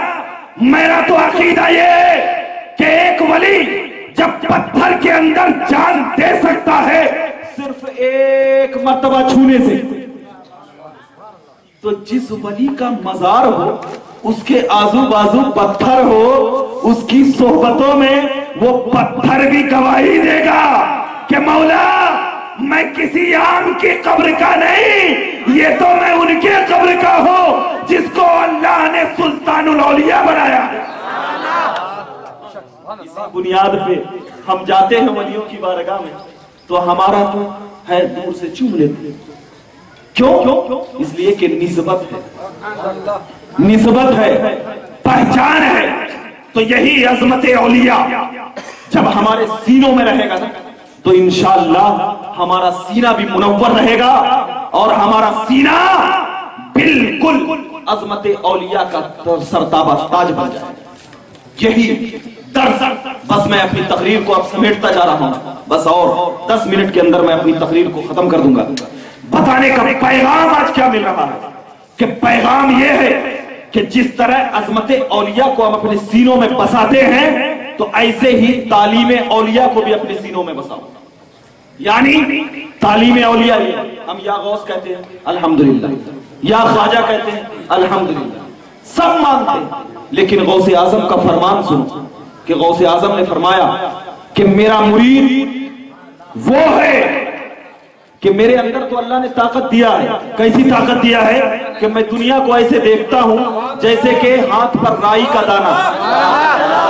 دنیا کو ایسے دیکھتا ہوں جیسے کہ ہاتھ پہ رائی کا دانا۔ اور نبی نے فرمایا کہ میں دنیا کو ایسے دیکھتا ہوں جیسے ہتھیلی۔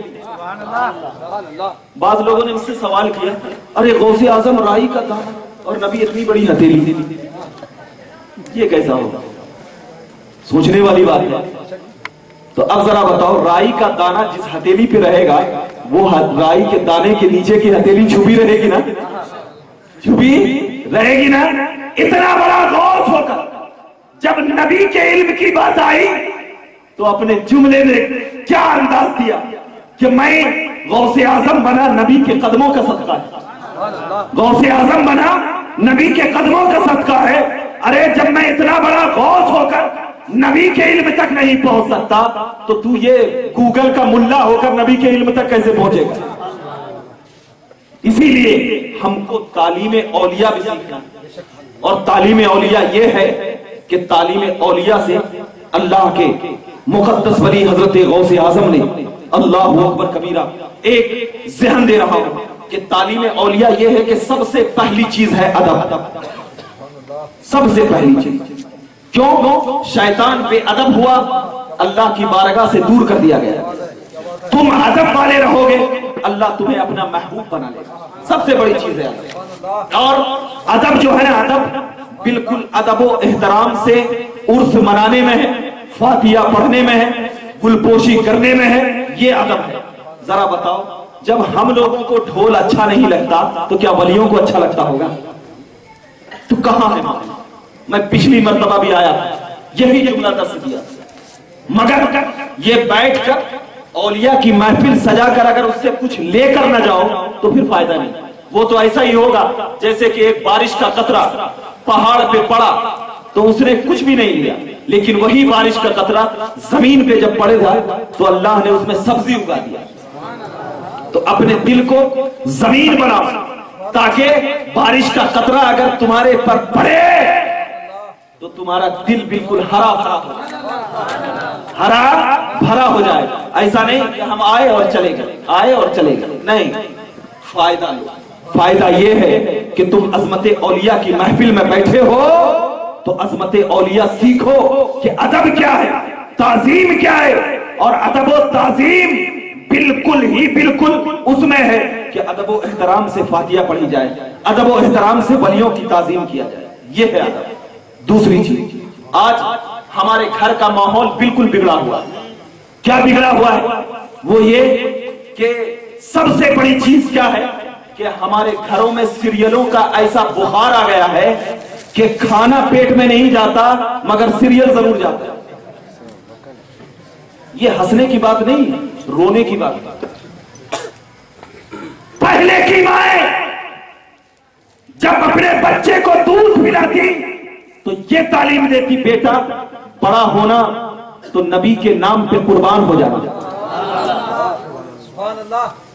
تب جا کر دیکھو کہ حضرت فاطمہ نے جب دودھ پلایا ہوگا علی کو، تو کیا درس دیا ہوگا؟ یہی نا کہ نبی کے چہرے کو دیکھو، اذان کو سننا، تب علی ولی بنے۔ غوث اعظم کی ماں فاطمہ اپنے بچے کو جب دودھ پلاتی ہوں گی تو کیا درس دیا ہوگا؟ کیا سیریال خواجہ غریب نواز کی والدہ؟ جب اپنے بچے کو دودھ پلائے تو کیا درس دیا؟ سیریال نہیں۔ آج ہماری ماں بہنیں بھی سن رہی ہیں۔ بتانا چاہتا ہوں کہ ہمارے گھر میں جو بے برکتی ہو رہی ہے، جو پریشانی آ رہی ہے، قسم خدا کی یہ ممبر رسول ہے۔ یہاں پر بیٹھ کر میں ایک اللہ کے ولی کو گواہ رکھتے ہوئے میں دے رہا ہوں کہ قسم خدا کی اگر آج ہمارے گھروں سے سیریل کا نام و نشان مٹا دو۔ قسم خدا کی، کل سے تمہارے گھروں میں ساری پریشانیاں دور ہوتی چلی جائیں آج تعلیم پیدا کرو۔ کیونکہ جب تک تعلیم محمد ہمارے گھروں میں نہیں ہوگا، برکت ختم۔ سب کچھ ختم۔ آ جاتی ہے صاحب کے پاس جیسے ابھی ذکر کر رہے تھے۔ میرا بچہ شرابی ہو گیا۔ میرا بچہ جواری ہو گیا۔ میرا بچہ گانجا پینے لگا۔ کیا وجوہات وہی ہے کہ جب چھوٹا تھا تو ان کی مائیں اپنے بازو میں بٹھا کر ٹی وی دیکھا کرتی تو اس کا اثر تو ہوگا نا۔ اثر تو ہوگا نا۔ کیوں؟ آپ ذرا بتاؤ کہ ایک چھوٹے سے شیر کے بچے کو اگر بکری کے ساتھ رکھ دیا جائے تو وہ بکری کی حرکت کرنے لگتا ہے۔ کیوں؟ اس لیے کہ وہ بچہ بکری کے ساتھ پلا ہے۔ کیوں؟ اس لیے کہ صحبت کا اثر ہوتا ہے۔ تو ایسے ہی فرمایا کہ بروں کی صحبت تجھے برا کر دیتی ہے اور اچھوں کی صحبت تجھے اچھا کر دیتی ہے۔ ارے، یہ صحبت تو دور کی بات ہے۔ ہمارے گھر میں ہماری مائیں بھی بری ہے تو پھر ہماری صحبت کی ضرورت ہی نہیں۔ تو سب سے بڑی چیز یہ ہے کہ وہ تعلیم دو کہ حضرت فاطمت الزہرا ہے جب عبادت کرتی ہے تو اپنے چہرے کو جب زمین پہ رکھتی ہے تو فرشتے بھی ان کے گھر کی چوکیداری کرتی ہے حضرت فاطمہ کہتی ہے مولا نے اتنی چھوٹی رات بنائی کہ عبادت کا ایک سجدہ بھی مکمل نہ ہوا۔ عبادت کا ایک سجدہ بھی مکمل نہ ہوا۔ تو حضرت فاطمہ کا یہ عمل اللہ کو اتنا پسند ہوتا ہے کہ حضرت فاطمہ کو جب اللہ تبارک و تعالی جنت میں جانے کا حکم دے گا تو تمام اہل محشر کو اللہ کہے گا، اپنی نگاہوں کو نیچی کر لو، کیونکہ فاطمہ کی سواری جا رہی ہے۔ تمام میدان محشر کے لوگ اپنی نگاہوں کو نیچی کرتی جائیں گے اور وہ فاطمہ طاہرہ جنت میں چلی جائیں گے۔ کیوں مقام ملا؟ کیا سیریل سے مقام ملا؟ کیا ٹی وی سے مقام ملا؟ بتاؤ کیا ان برائیوں سے مقام ملا؟ نہیں۔ حضرت فاطمہ نے یہ نہیں سمجھا کہ میرے والد نبی ہیں تو مجھے بخشوا دیں گے۔ نہیں سمجھا، حالانکہ معلوم تھا کہ بخشش ہوگی۔ نہیں سمجھا، تو کوئی یہ نہ سمجھے کہ میرا باپ ولی ہے تو میں بھی ولی بن جاؤں۔ تمہیں تمہارے عمل کا حساب ملے۔ گا ایک عورت کی وجہ سے تین لوگ جہنم میں جائیں گے۔ تین لوگ، حدیث پاک ہے۔ نبی کریم فرماتے ہیں کہ ایک عورت کی وجہ سے تین لوگ جہنم میں جائیں گے۔ کون کون؟ سب سے پہلے ان کا شوہر جائے گا۔ عورت کو جب جہنم میں بھیجا جائے گا، تو وہ عورت سے جہنم کے دروازے پہ اللہ سوال کرے گا۔ وہ عورت کہے کہ مولا، مجھے جہنم میں کیوں بھیج رہا ہے؟ میری برائی کا ذریعہ تو میرا شوہر ہے کہ میں جب برائی کرتی تھی تو مجھے روکتا نہیں تو اللہ کہے گا، اس کے شوہر کو بھی بھیج۔ پھر جب اسی عورت سے کہے گا، جا جہنم میں۔ تو پھر وہ عورت کہے گی، مولا، مجھے جہنم میں کیوں بھیجتا تھا؟ میں جب گھر میں تھی تو میرے والدین مجھے برائی سے نہیں روکتے۔ کہا گا، ایسا؟ کہا، اس کے والدین کو بھیج، ماں باپ کو جہنم پھر جب اس عورت کو کہا جائے گا، تو جہنم میں جا، تو پھر وہ عورت کہے گی، مولا، میں جب گھر سے باہر نکلتی تھی، تو میرا بھائی مجھے چاکلیٹ دیتا، سب کچھ دیتا تھا۔ لیکن جب میں برائی کرتی، تو میرا بھائی مجھے روکتا نہیں۔ تو اللہ کہے گا، جا، اس کے بھائی کو بھی جہنم میں ڈال۔ ایک عورت ان کی وجہ سے باپ بھی جہنم، شوہر بھی جہنم، بھائی بھی جہنم۔ کیوں؟ اس لیے کہ برائی میں تم اپنے آپ کو تو محفوظ کر سکتے ہو، لیکن ضروری یہ ہے کہ تم اپنی ماں بہنوں کو بھی محفوظ کرو۔ آج ہمارے معاشرے میں بگاڑ ہے۔ ہم عظمت اولیاء کا جلسہ تو سجا لیتے ہیں۔ ہماری رگوں میں ولیوں کا نام سن کر دل تو بھر جاتا ہے۔ کیا کبھی ہم نے اپنے معاشرے کی طرف نظر اٹھا کر دیکھا کہ ہماری ماں بہنیں کیا کر رہی ہے ہماری بیٹی کیا کر رہی ہے کبھی ایسا ہوا کہ ایک باپ اپنی بیٹی کو کبھی یہ نہیں کہتا کہ بیٹی نماز پڑھ۔ ایک شوہر اپنی بیوی کو یہ نہیں کہتا کہ بیوی نماز پڑھ۔ لیکن اگر اس کی بیوی کہتی ہے شوہر ذرا شاپنگ کرنے جانا۔ ہے کہا، ٹھیک ہے، چلتے ہیں۔ کیوں؟ ہماری غیرت ایمانی کہاں گئی مسلمان؟ کیا یہی تعلیم صحابہ کرام نے ہمیں دیا؟ کیا یہی تعلیم اولیاء کرام سے ہمیں ملا ہے؟ کیا یہی نظریہ اولیاء کرام نے ہمیں بتایا؟ نہیں۔ اگر اسلام میں بہتری لانا ہے، اگر تم اپنے آپ کو مسلمان کہلانے کے لائق چھوڑنا ہے تو سب سے پہلے اپنے گھروں میں اسلامی ماحول پیدا کرو، ہر چیز تمہاری پریشانی دور ہوتی ہے۔ یہی درس لے کر آج اس جلسے سے اٹھو کہ جو ہم سے غلطی ہو چکی ہے، آج ہم اللہ کے ولی کو گواہ رکھ کر مولا تیری بارگاہ میں توبہ کرتے ہیں کہ آج سے وہ غلطی کبھی نہیں دہرائیں اپنے دل میں یہ تحیہ کر کے اٹھو۔ کیوں؟ اس لیے کہ امام حسین ہو یا غوث اعظم ہو یا سرکار غریب نواز ہو، جتنے بھی اولیاء کرام ہو، یا بابا فرید صاحب قبلہ رضی اللہ تعالی عنہ ہو، جتنے بھی اولیاء، تمام اولیاؤں کا مشن یہ رہا کہ اسلام زندہ ہوتا ہے ہر کربلا کے بعد۔ اے مسلمانوں، جب اسلام کو اب زندہ کیا امام حسین نے، اپنے بیٹے کو قربان کر اپنے تمام جانساروں کو قربان کر دے۔ تو اس اسلام کو بچانے کی ذمہ داری اب تم پر ہے کہ کل امام حسین کی بارگاہ میں جب پیش ہوگے تو امام حسین پوچھیں گے تو مجھ سے محبت کرتا تھا اسلام کے لیے کیا کیا؟ کیا جواب ہوگا آپ کا؟ آپ کے چہرے پہ کیا جواب ہوگا؟ جواب وہی ہونا چاہیے کہ یا رسول اللہ، مرتے ہیں تو مر جائیں۔ کٹتے ہیں تو کٹ جائیں۔ ایمان ہمارے سینوں سے نہ نکلا ہے، نہ نکلے گا۔ آج ہم یہی تہیا کر کے اللہ کی بارگاہ میں دعا ہے کہ مولا کریم ہم تمام کو سچا پکا عاشق رسول بنائے، ہم تمام کو اہل بیت سے محبت کرنے والا دل عطا فرمائے، ہم تمام کے رگوں میں اسلامی قانون عطا فرمائے، ہمارے گھروں میں خیر و برکت نصیب فرما اور ہماری ماں بہنوں کو اسلامی طریقے سے زندگی گزارنے کی توفیق عطا فرما۔ وآخر دعوانا ان الحمدللہ رب العالمین، السلام علیکم۔